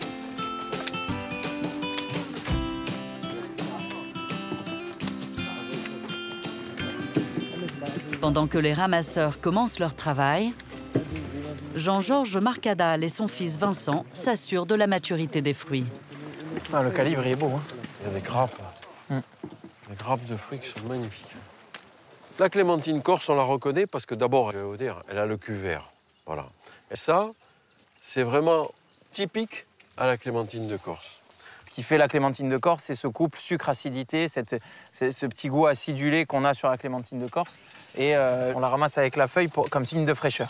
Ça, c'est très important. Dans les étals, c'est ce qui permet de dire c'est une clémentine qui n'a pas 15 jours, qui n'est pas passée en chambre. Vous pouvez le voir, euh, on ramasse ce qui est mûr. La cueillette s'étend de novembre à début janvier. Logiquement, on fait trois passages sur l'arbre, euh, puisque le clémentinier ne produit pas les fruits tout le temps, au même moment. en fait. C'est toute la difficulté de, travailler un fruit mûri sur l'arbre, en fait. On n'est pas sur quelque chose d'industriel, il faut arriver à, le ramasser quand il faut, au bon moment, pour arriver avec un fruit qui est à l'optimum euh, au niveau du consommateur.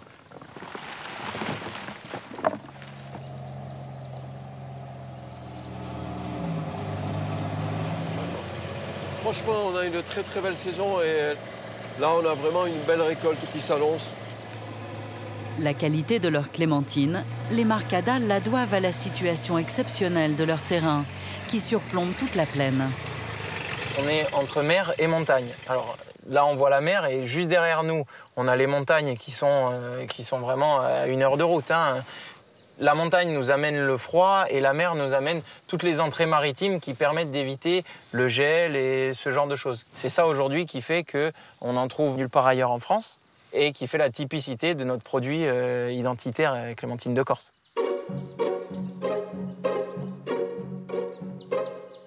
Trente ans après avoir planté leurs premiers arbres, les Marcadal franchissent un nouveau pas. Ils ont commencé à convertir en bio une partie de leur verger.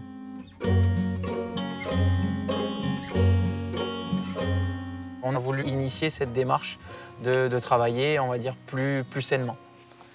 Euh, on le voit bien puisque les, fruits sont, marqués d'argile. En fait, on a, pulvérisé de l'argile dessus euh, pour éviter les insecticides. Ça permet euh, de faire de la confusion visuelle au niveau des insectes. Les insectes sont intéressés par le fruit qui est coloré. On a la chance de faire pousser nos fruits. On a les arbres, on les plante, ils grandissent, ils produisent, on récolte ces fruits. C'est une vraie fierté aujourd'hui de pouvoir dire c'est nous qui l'avons fait.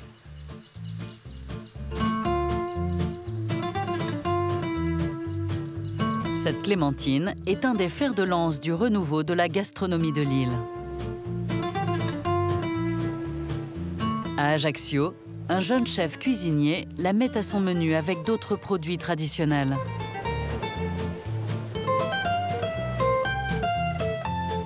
Chaque matin, sa tournée débute par le port. David Mezzaki guette le retour de son ami Jean-Baptiste. On a Bati qui arrive là, qui est mon pêcheur attitré. C'est lui qui me fournit euh, toute la pêche de mon restaurant. Allez, on va décharger. Allez. Ah, c'est de la belle pêche, venez voir ça. C'est bien brillant. On a de la belle soupe, la soupe de poisson. C'est là que se crée l'envie de, de faire une bonne cuisine. Là, on a un beau spécimen, un beau dentier. Le poisson, il est beau, hein, quand... Ouais, les couleurs qu'il a, il est encore craquant. Il a été, il a été pris cette nuit, celui-là. Ouais. C'est un poisson noble, déjà. hein. C'est un poisson qui est très recherché par les Ajacciens. Euh, en général, ce sont des, des spécimens qui peuvent même aller jusqu'à 15 kilos. Donc, tu vois, c'est des belles pièces. Alors, on peut, si on a une belle table, le proposer comme ça, entier, au four, juste avec quelques aromates, tu vois. Ou alors, on peut en faire des darnes avec euh, des clémentines, ça va être super. Face à la baie d'Ajaccio, le restaurant de David propose une cuisine concoctée à partir de produits locaux bio. Alors, on a un une ballotine. hein. De travailler ces produits, c'est un plaisir et c'est un honneur. On passe du producteur au consommateur dans un laps de temps très court. Et puis, c'est un plaisir parce qu'on aime faire plaisir aux autres, on aime faire plaisir aux gens et à nos clients. Le danti trouvé ce matin au port est maintenant prêt à être cuisiné. C'est un poisson qui appelle une sauce de caractère aussi. Alors là, on va le marier avec la clémentine. On va couper un pavé comme ceci. Moi, je préfère le cuire tout doucement dans un four mixte avec la- de la chaleur et de la vapeur. Ça va nous faire un poisson nacré avec une, une texture moelleuse et un bon fondant. Un peu d'huile de basilic et David enfourne le poisson avant de poursuivre sa recette. Alors là, on a le brooch. Le seul fromage AOC de Corse, c'est fait avec du lait de brebis. On va faire un petit gratinage avec quelques noisettes. Et on va venir apporter notre côté agrumes. Donc on râpe les zestes de clémentine. Marier la clémentine, la noisette et euh, le brooch avec un poisson, c'est marier les saveurs de Corse. On va récupérer les fruits pour la garniture. Ici, j'ai réalisé un petit jus. C'est du veau, du veau corse. Ce petit jus, je vais le faire infuser avec des zestes de clémentine pour agrémenter notre poisson. À l'intérieur, on va mettre nos clémentines et nos petits légumes.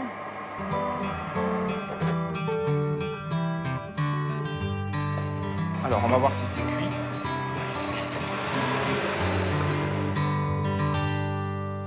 Je viens apporter ma farce de broche de noisettes et d'agrumes sur le dessus. Voilà. Et on, on le fait gratiner.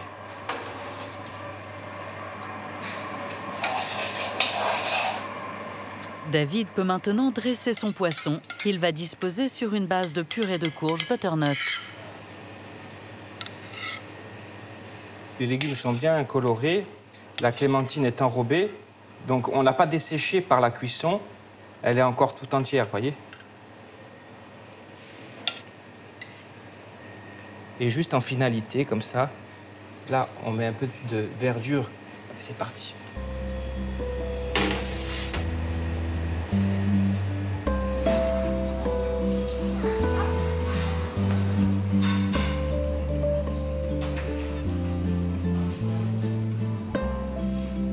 On est au centre du golfe d'Ajaccio, à travers euh, une cuisine basée sur les produits du terroir et sur les produits de la mer. Et c'est vraiment très identitaire.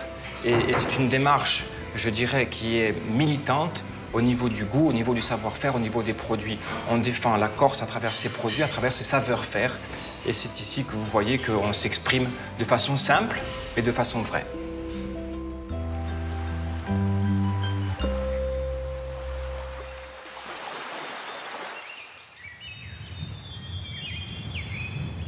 Retour dans la montagne du centre de la Corse, à 15 km de Corté. Nous sommes en septembre, c'est la fin d'après-midi.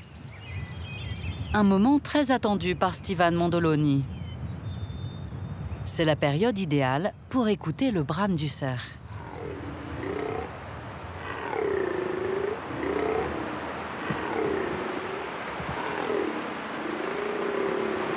Ça s'excite, ça y est. Le brame du cerf, c'est le cri rauque, c'est la vocalise qu'émet le cerf, le mâle, donc, pendant la période de reproduction. Donc c'est euh, une manière d'une part d'affirmer sa présence, de montrer euh, que c'est lui le maître de place. Et euh, ensuite, ben, d'affirmer les femelles qu'il est sur le secteur, que c'est son territoire. Et donc il est prêt à s'accomplir. On vient bien l'entendre là, donc il doit être puis dans l'autre direction. Il doit être entre les Pinèdes et les Bruyères. 300. 306. Ouais, c'est légèrement décalé. Steven profite de cette période où les animaux sortent à découvert pour réaliser un comptage. Là, on a vraiment un beau cerf adulte, 8 corps. Il est en train d'observer quelque chose sur sa gauche, là. Peut-être un concurrent ou une biche. Là, on voit qu'il a le nez au sol. Il est en train de suivre la piste. Certainement d'une biche. Parce que les biches, sécrètent des phéromones. Et du coup, bah, ils suivent à la trace les femelles pour ensuite aller les féconder. Moi, je suis passionné de, pleine nature et d'environnement naturel, mais c'est vrai que je suis passionné par cette espèce depuis, euh, depuis ma tendre enfance. Et euh, c'est euh, pour nous Corses une, une, espèce à très forte valeur patrimoniale hein, qui est présente chez nous depuis maintenant 3000 ans. Hein. C'est 3000 ans d'histoire quand même le cerf en Corse. Et c'est vrai que c'est une, chance aujourd'hui de pouvoir observer du cerf en nature. Ah, voilà, on a le mâle qui court par la femelle. Elle a l'air moins réceptive que lui.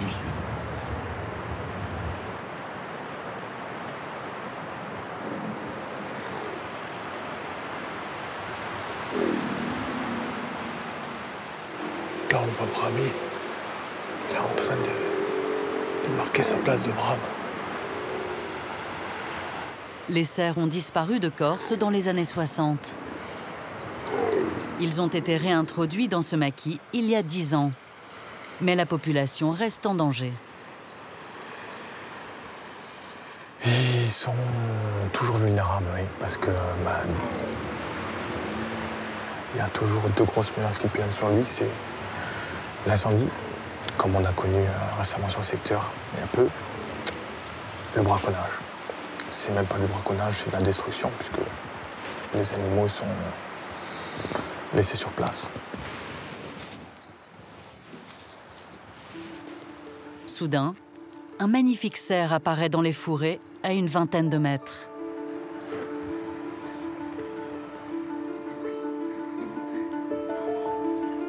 C'est un vieux mâle dont les bois ont certainement été cassés lors de joutes pour conquérir des femelles.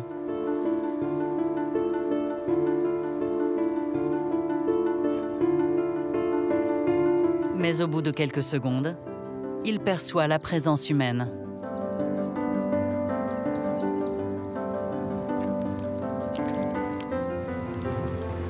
Et hop, on l'a plus.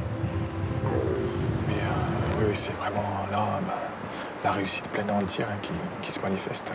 C'est une vingtaine d'individus relâchés il y a plus de dix ans dans le secteur. Aujourd'hui, on a plus d'une centaine. Donc ça a été quand même assez moyen ces premières années. Mais euh, là, depuis plusieurs années, 4-5 euh, ans notamment, ça prend un essor assez important et tant mieux. C'est le but.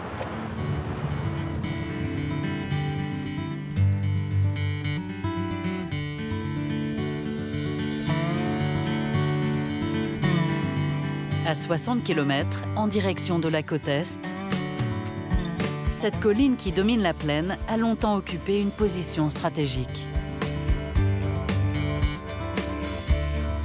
Voici la cité antique d'Aléria. Ici, les archéologues ont retrouvé les vestiges d'un forum, de temples, d'habitations et commerces qui témoignent de l'importance de la cité.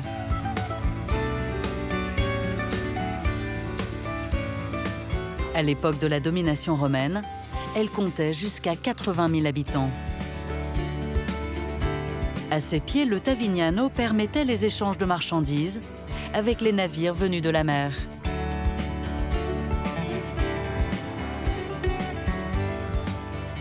Aujourd'hui, c'est au large d'Aléria que se concentrent les fouilles.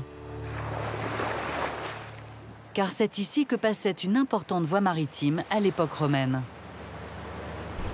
Ce bateau fait route vers une épave à la recherche de vestiges. Aujourd'hui, on va sur l'épave euh, que nous avons appelée Aléria 1 parce qu'il se trouve presque en face d'Aléria. C'est une épave romaine euh, dès l'époque de l'empereur Adrien. Nous, la première chose qui nous a euh, attiré sur cette épave, c'est la variété de sa cargaison parce qu'elle est très riche en céramique fine, des gobelets, des tasses, des, des verres. Il y a plein d'amphores qui viennent de toute la Méditerranée. Euh, qui est bien conservée parce qu'elle se trouve à 400, entre 300 et 400 mètres de profondeur. Franca a repéré cette épave il y a deux ans. Aujourd'hui, elle va tenter de remonter quelques pièces grâce à des robots qui atteignent des profondeurs inaccessibles à l'homme. Là, on commence la série de, des mises à l'eau des, des engines. En particulier, ces robots-là est capable d'aller jusqu'à 2000 mètres.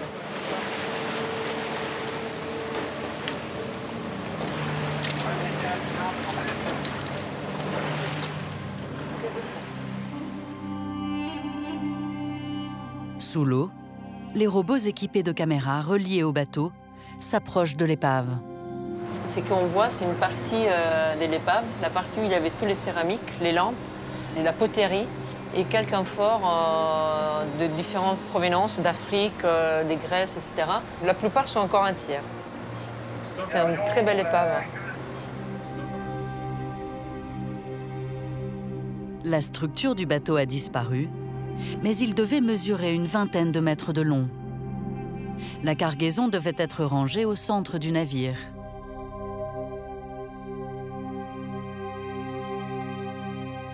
Parmi tous ces trésors, Franca cherche à remonter un col d'amphore. Regarde, celle-là, j'ai peur qu'elle soit un peu trop grande, mais sinon, même celui-là, ça pourrait aller. Celui-là, je ne sais pas s'il va nous prendre toute la caisse. Avec cette commande, les archéologues pilotent le robot équipé d'un bras articulé.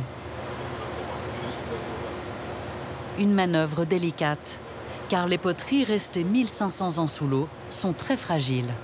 C'est difficile parce qu'on ne peut pas vraiment se poser sans risquer d'abîmer du mobilier. Et euh, là, on est équipé d'un manipulateur hydraulique qui est assez délicat à manipuler. On risque d'abîmer les objets. Donc il faut vraiment choisir des objets qui sont pas trop fragiles. C'est pour ça qu'on prend que des cols d'infort, on prend plus de la céramique. Tu l'as? Et quand je l'ai, quand je monte, tu redonnes un referme, referme, referme. Doucement. Ok, parfait.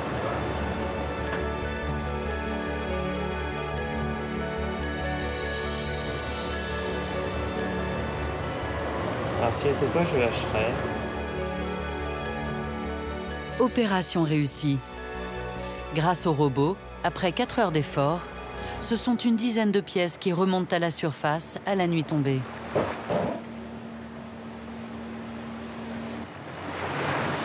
Voilà, sauve. Hop sur la tête Allez. Ça, c'est une lampe euh, à disque, on l'appelle comme ça. Ces petites lampes, euh, c'est un des exemplaires de la cargaison principale de ces bateaux. Euh, c'est des objets qui, à l'époque, étaient des objets standardisés, mais qui aujourd'hui sont plutôt rares dans les épaves parce que c'est des objets jolis, qui sont très appréciés par les pilleurs. D'habitude, vous pouvez imaginer, ils partent très vite, vous voyez. C'est facile tout ce qu'on a pu récupérer, moi, me permet d'avancer euh, dans la détermination de l'épave, sa datation, et en même temps d'évoluer dans la technologie de récupération pour pouvoir vraiment étudier bien cette épave. Bientôt, Franca sera de retour ici pour une nouvelle campagne de fouilles.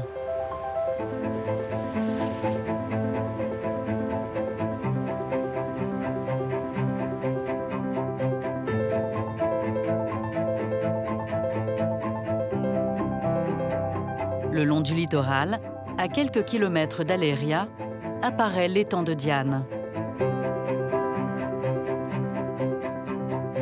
Il abrite une richesse déjà exploitée par les Romains il y a 2500 ans.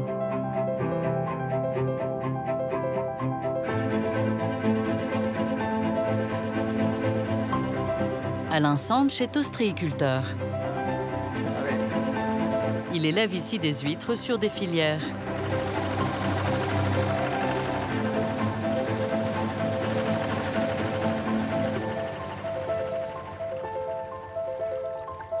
Tous les 30 ou 40 cm, on accroche une filière avec euh, les coquilles. euh. Sur euh, chaque corde, il y a une, cinquantaine d'huîtres. Et ça pousse tout seul. On ne nourrit pas. hein. C'est c'est dans l'eau, ça pousse, ça se nourrit tout seul. La méthode d'élevage est simple. Elle consiste à fixer les naissins, des bébés huîtres, sur des coquilles vides accrochées aux filières. C'est juste un support pour les petites. C'est une, une coquille d'huître. hein. Et on passe dedans, comme ça, oui. Hop. Et après, les petites huîtres qui étaient dessus, elles vont pousser. Dans les temps de Diane, les huîtres grandissent deux fois plus vite que dans les eaux de l'Atlantique. Ici, on a de très bonnes eaux, ce qui fait la qualité de l'huître euh, exceptionnelle. Quoi. Elle s'engraisse beaucoup plus.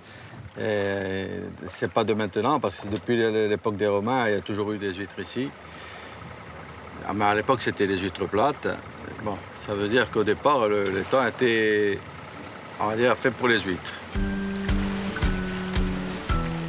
Ces huîtres plates, tant appréciées des Romains, poussent depuis toujours naturellement au fond de l'étang. Mais aujourd'hui, des chercheurs tentent de développer son élevage. Ils commencent par se rendre sur cette île qui présente une étonnante particularité. Elle est essentiellement constituée de coquilles d'huîtres.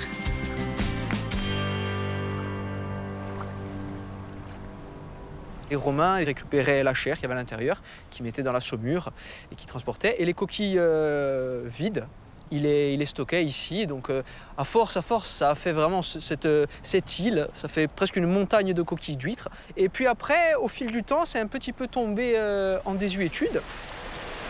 Jean-José et ses collègues cherchent à mettre au point une méthode d'élevage pour exploiter l'huître sauvage de l'étang de Diane. Tu te mets dans l'angle, on est bien. Dans l'angle là-bas. hein. Là, on est sur une table ostréicole euh, sur lesquelles on a pendu euh, un certain nombre de filières euh, avec des pearl nets. Donc, c'est des petits filets qui permettent de faire pré-grossir les huîtres. Donc là, on vient les relever pour voir euh, ce que ça a donné un petit peu la période estivale. Oh là, là, c'est magnifique. Attends. Ces huîtres plates, en fait, elles ne sont pas adaptées à la méthode euh, d'élevage telle qu'on l'entend pour l'huître creuse. Celle-ci, en fait, elle pousse sur le fond, le plus près du fond possible. Est-ce qu'on peut faire carrément des grosses C'est ce qui sort plus grosse, tu vois, c'est celle-là, pour l'instant. 4-5, tu vois. La prochaine étape, c'est semer ces huîtres sur le fond euh, et voir avec l'ostréiculteur euh, à quel endroit, à quelle période il va pouvoir les, les récolter.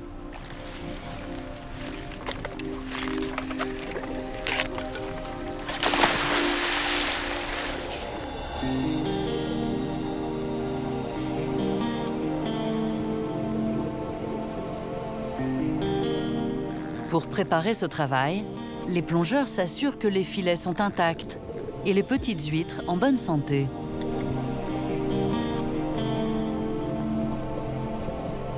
Profitant de la plongée, Jean-José ramasse quelques beaux spécimens adultes qui ont poussé au fond de l'étang. Grâce au travail des chercheurs, les amateurs de fruits de mer pourraient redécouvrir les saveurs de ce coquillage au goût unique.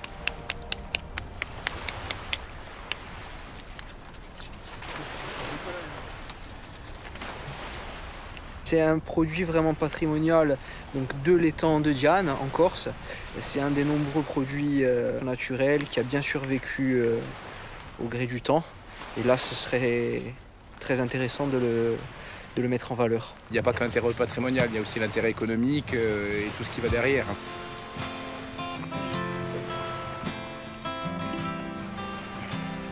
Ah, C'est une délice. Elle est fine. Elle a le fameux goût de noisette, si caractéristique des étangs méditerranéens. Je la préfère largement à l'huître creuse. Et les anciens qui ont eu la chance de goûter beaucoup les huîtres plates et les huîtres creuses vous diront la même chose.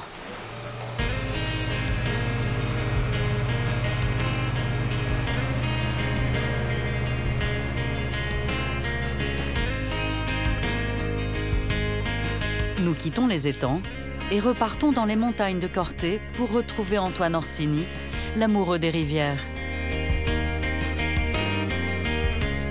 Il gravit les pentes de la vallée de la Restonica pour aller retrouver des amis bergers qui vivent leurs derniers jours d'estive.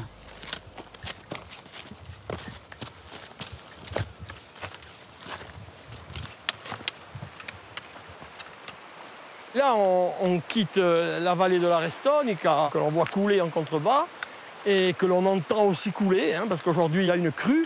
On est sur un chemin de, transhumance, chemin emprunté par les bergers depuis plusieurs dizaines, voire centaines d'années. Alors c'est un chemin que j'affectionne parce que j'ai fréquenté cette montagne étant gamin, hein, arrivant chez les bergers. Alors, je je retrouve ces senteurs, hein, comme je dis souvent, Proust avait sa Madeleine. Moi, j'ai ma vallée de la Restonica. Antoine va marcher une heure pour rejoindre le plateau d'Also et ses pâturages.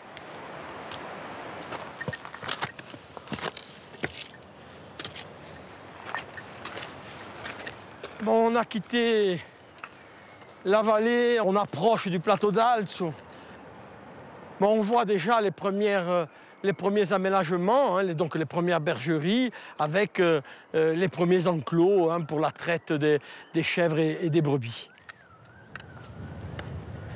Depuis toujours, ces pâturages d'altitude sont le refuge des bergers, qui fuient les chaleurs d'été dans la plaine.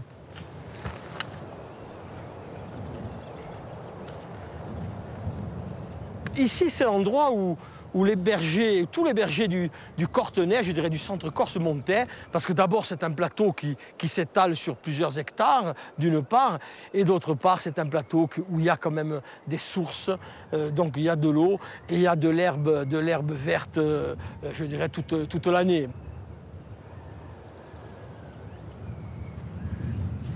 Arrivé aux bergeries, Antoine retrouve Paul, un ami depuis plus de 40 ans.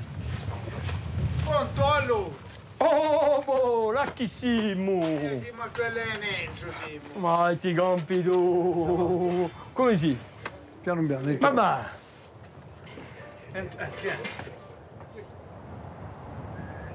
Dehors, dans les derniers rayons du soleil, Joseph, le fils de Paul, surveille son troupeau de brebis.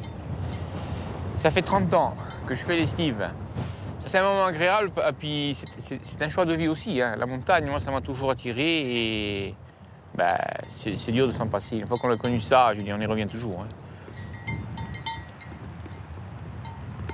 C'est être en altitude, c'est c'est vraiment un mode de vie particulier. hein. C'est un peu la liberté, c'est un peu... C'est la montagne.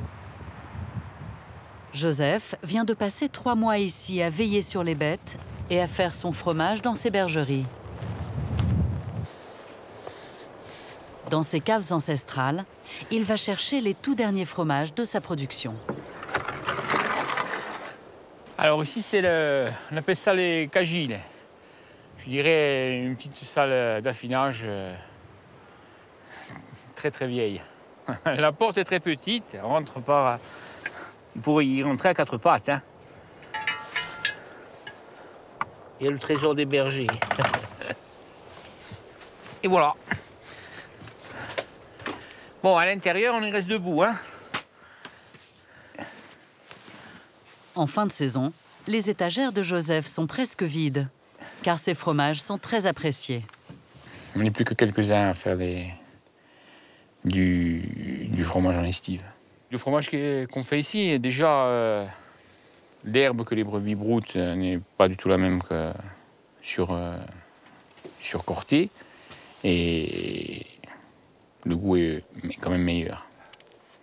Ici, on appelle ça le fromage montanaccio, de montagne.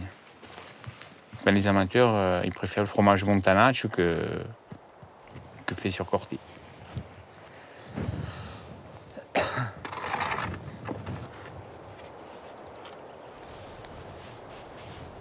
Pour Joseph, le moment du retour à sa bergerie de Corté approche.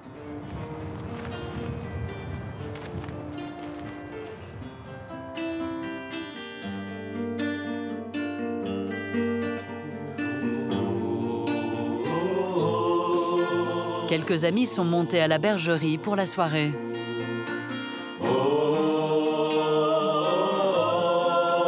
Dans ces montagnes, les bergers perpétuent la tradition des veillées en musique.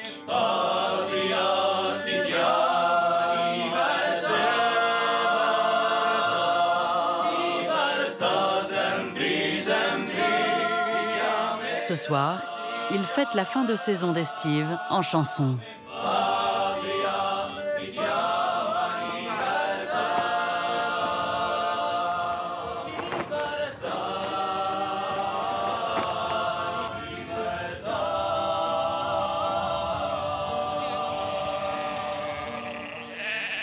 Char est sorti un peu plus, plus piano. Allez. Here. Le lendemain, il est 9 h quand débute la transhumance. Les brebis sentent le départ. Joseph redescend son troupeau dans la vallée. Ces brebis y resteront de novembre à mai. Et Allez C'est un autre cycle qui commence. en fait, le métier du berger, c'est on vit au rythme des, saisons. hein. Allez, oh J'ai toujours été attiré par les bêtes, par la nature. Et voilà. C'est un métier de passion. Ici, euh, depuis toujours, les bergers ont toujours consumé. hein. Depuis, on peut dire depuis le néolithique, ça a été comme ça. Et perpétuer cette tradition, c'est quand même euh, important. hein. Moi, ça m'a, toujours plu. Là, on bascule euh, sur la Restonica. Joseph et son troupeau quittent le plateau d'Also et entament la descente dans la vallée.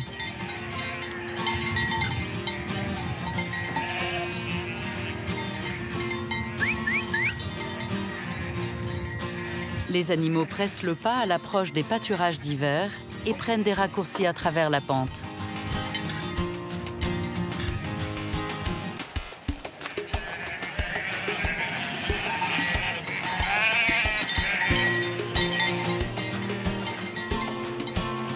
Les brebis n'auront mis que 20 minutes pour effectuer la descente. Elles arrivent au fond de la vallée de la Restonica. Joseph doit les faire patienter dans un enclos en attendant le camion qui les ramènera à Corté. Le retour à la civilisation.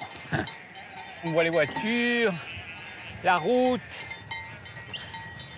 quelques touristes qui nous prennent en photo. Allez. Allez. On va essayer de les faire entrer dans le parc. Ils veulent pas entrer là. Hein Allez, donnez-moi un coup de main. Et c'est grâce à l'aide des randonneurs que Joseph parvient finalement à faire rentrer ses brebis dans l'enclos. Allez Ça, c'est une partie de l'année qui s'achève. Maintenant, vivement l'année prochaine pour remonter. Comme Joseph, ils sont encore sept bergers à effectuer chaque année la transhumance estivale sur le plateau d'Also.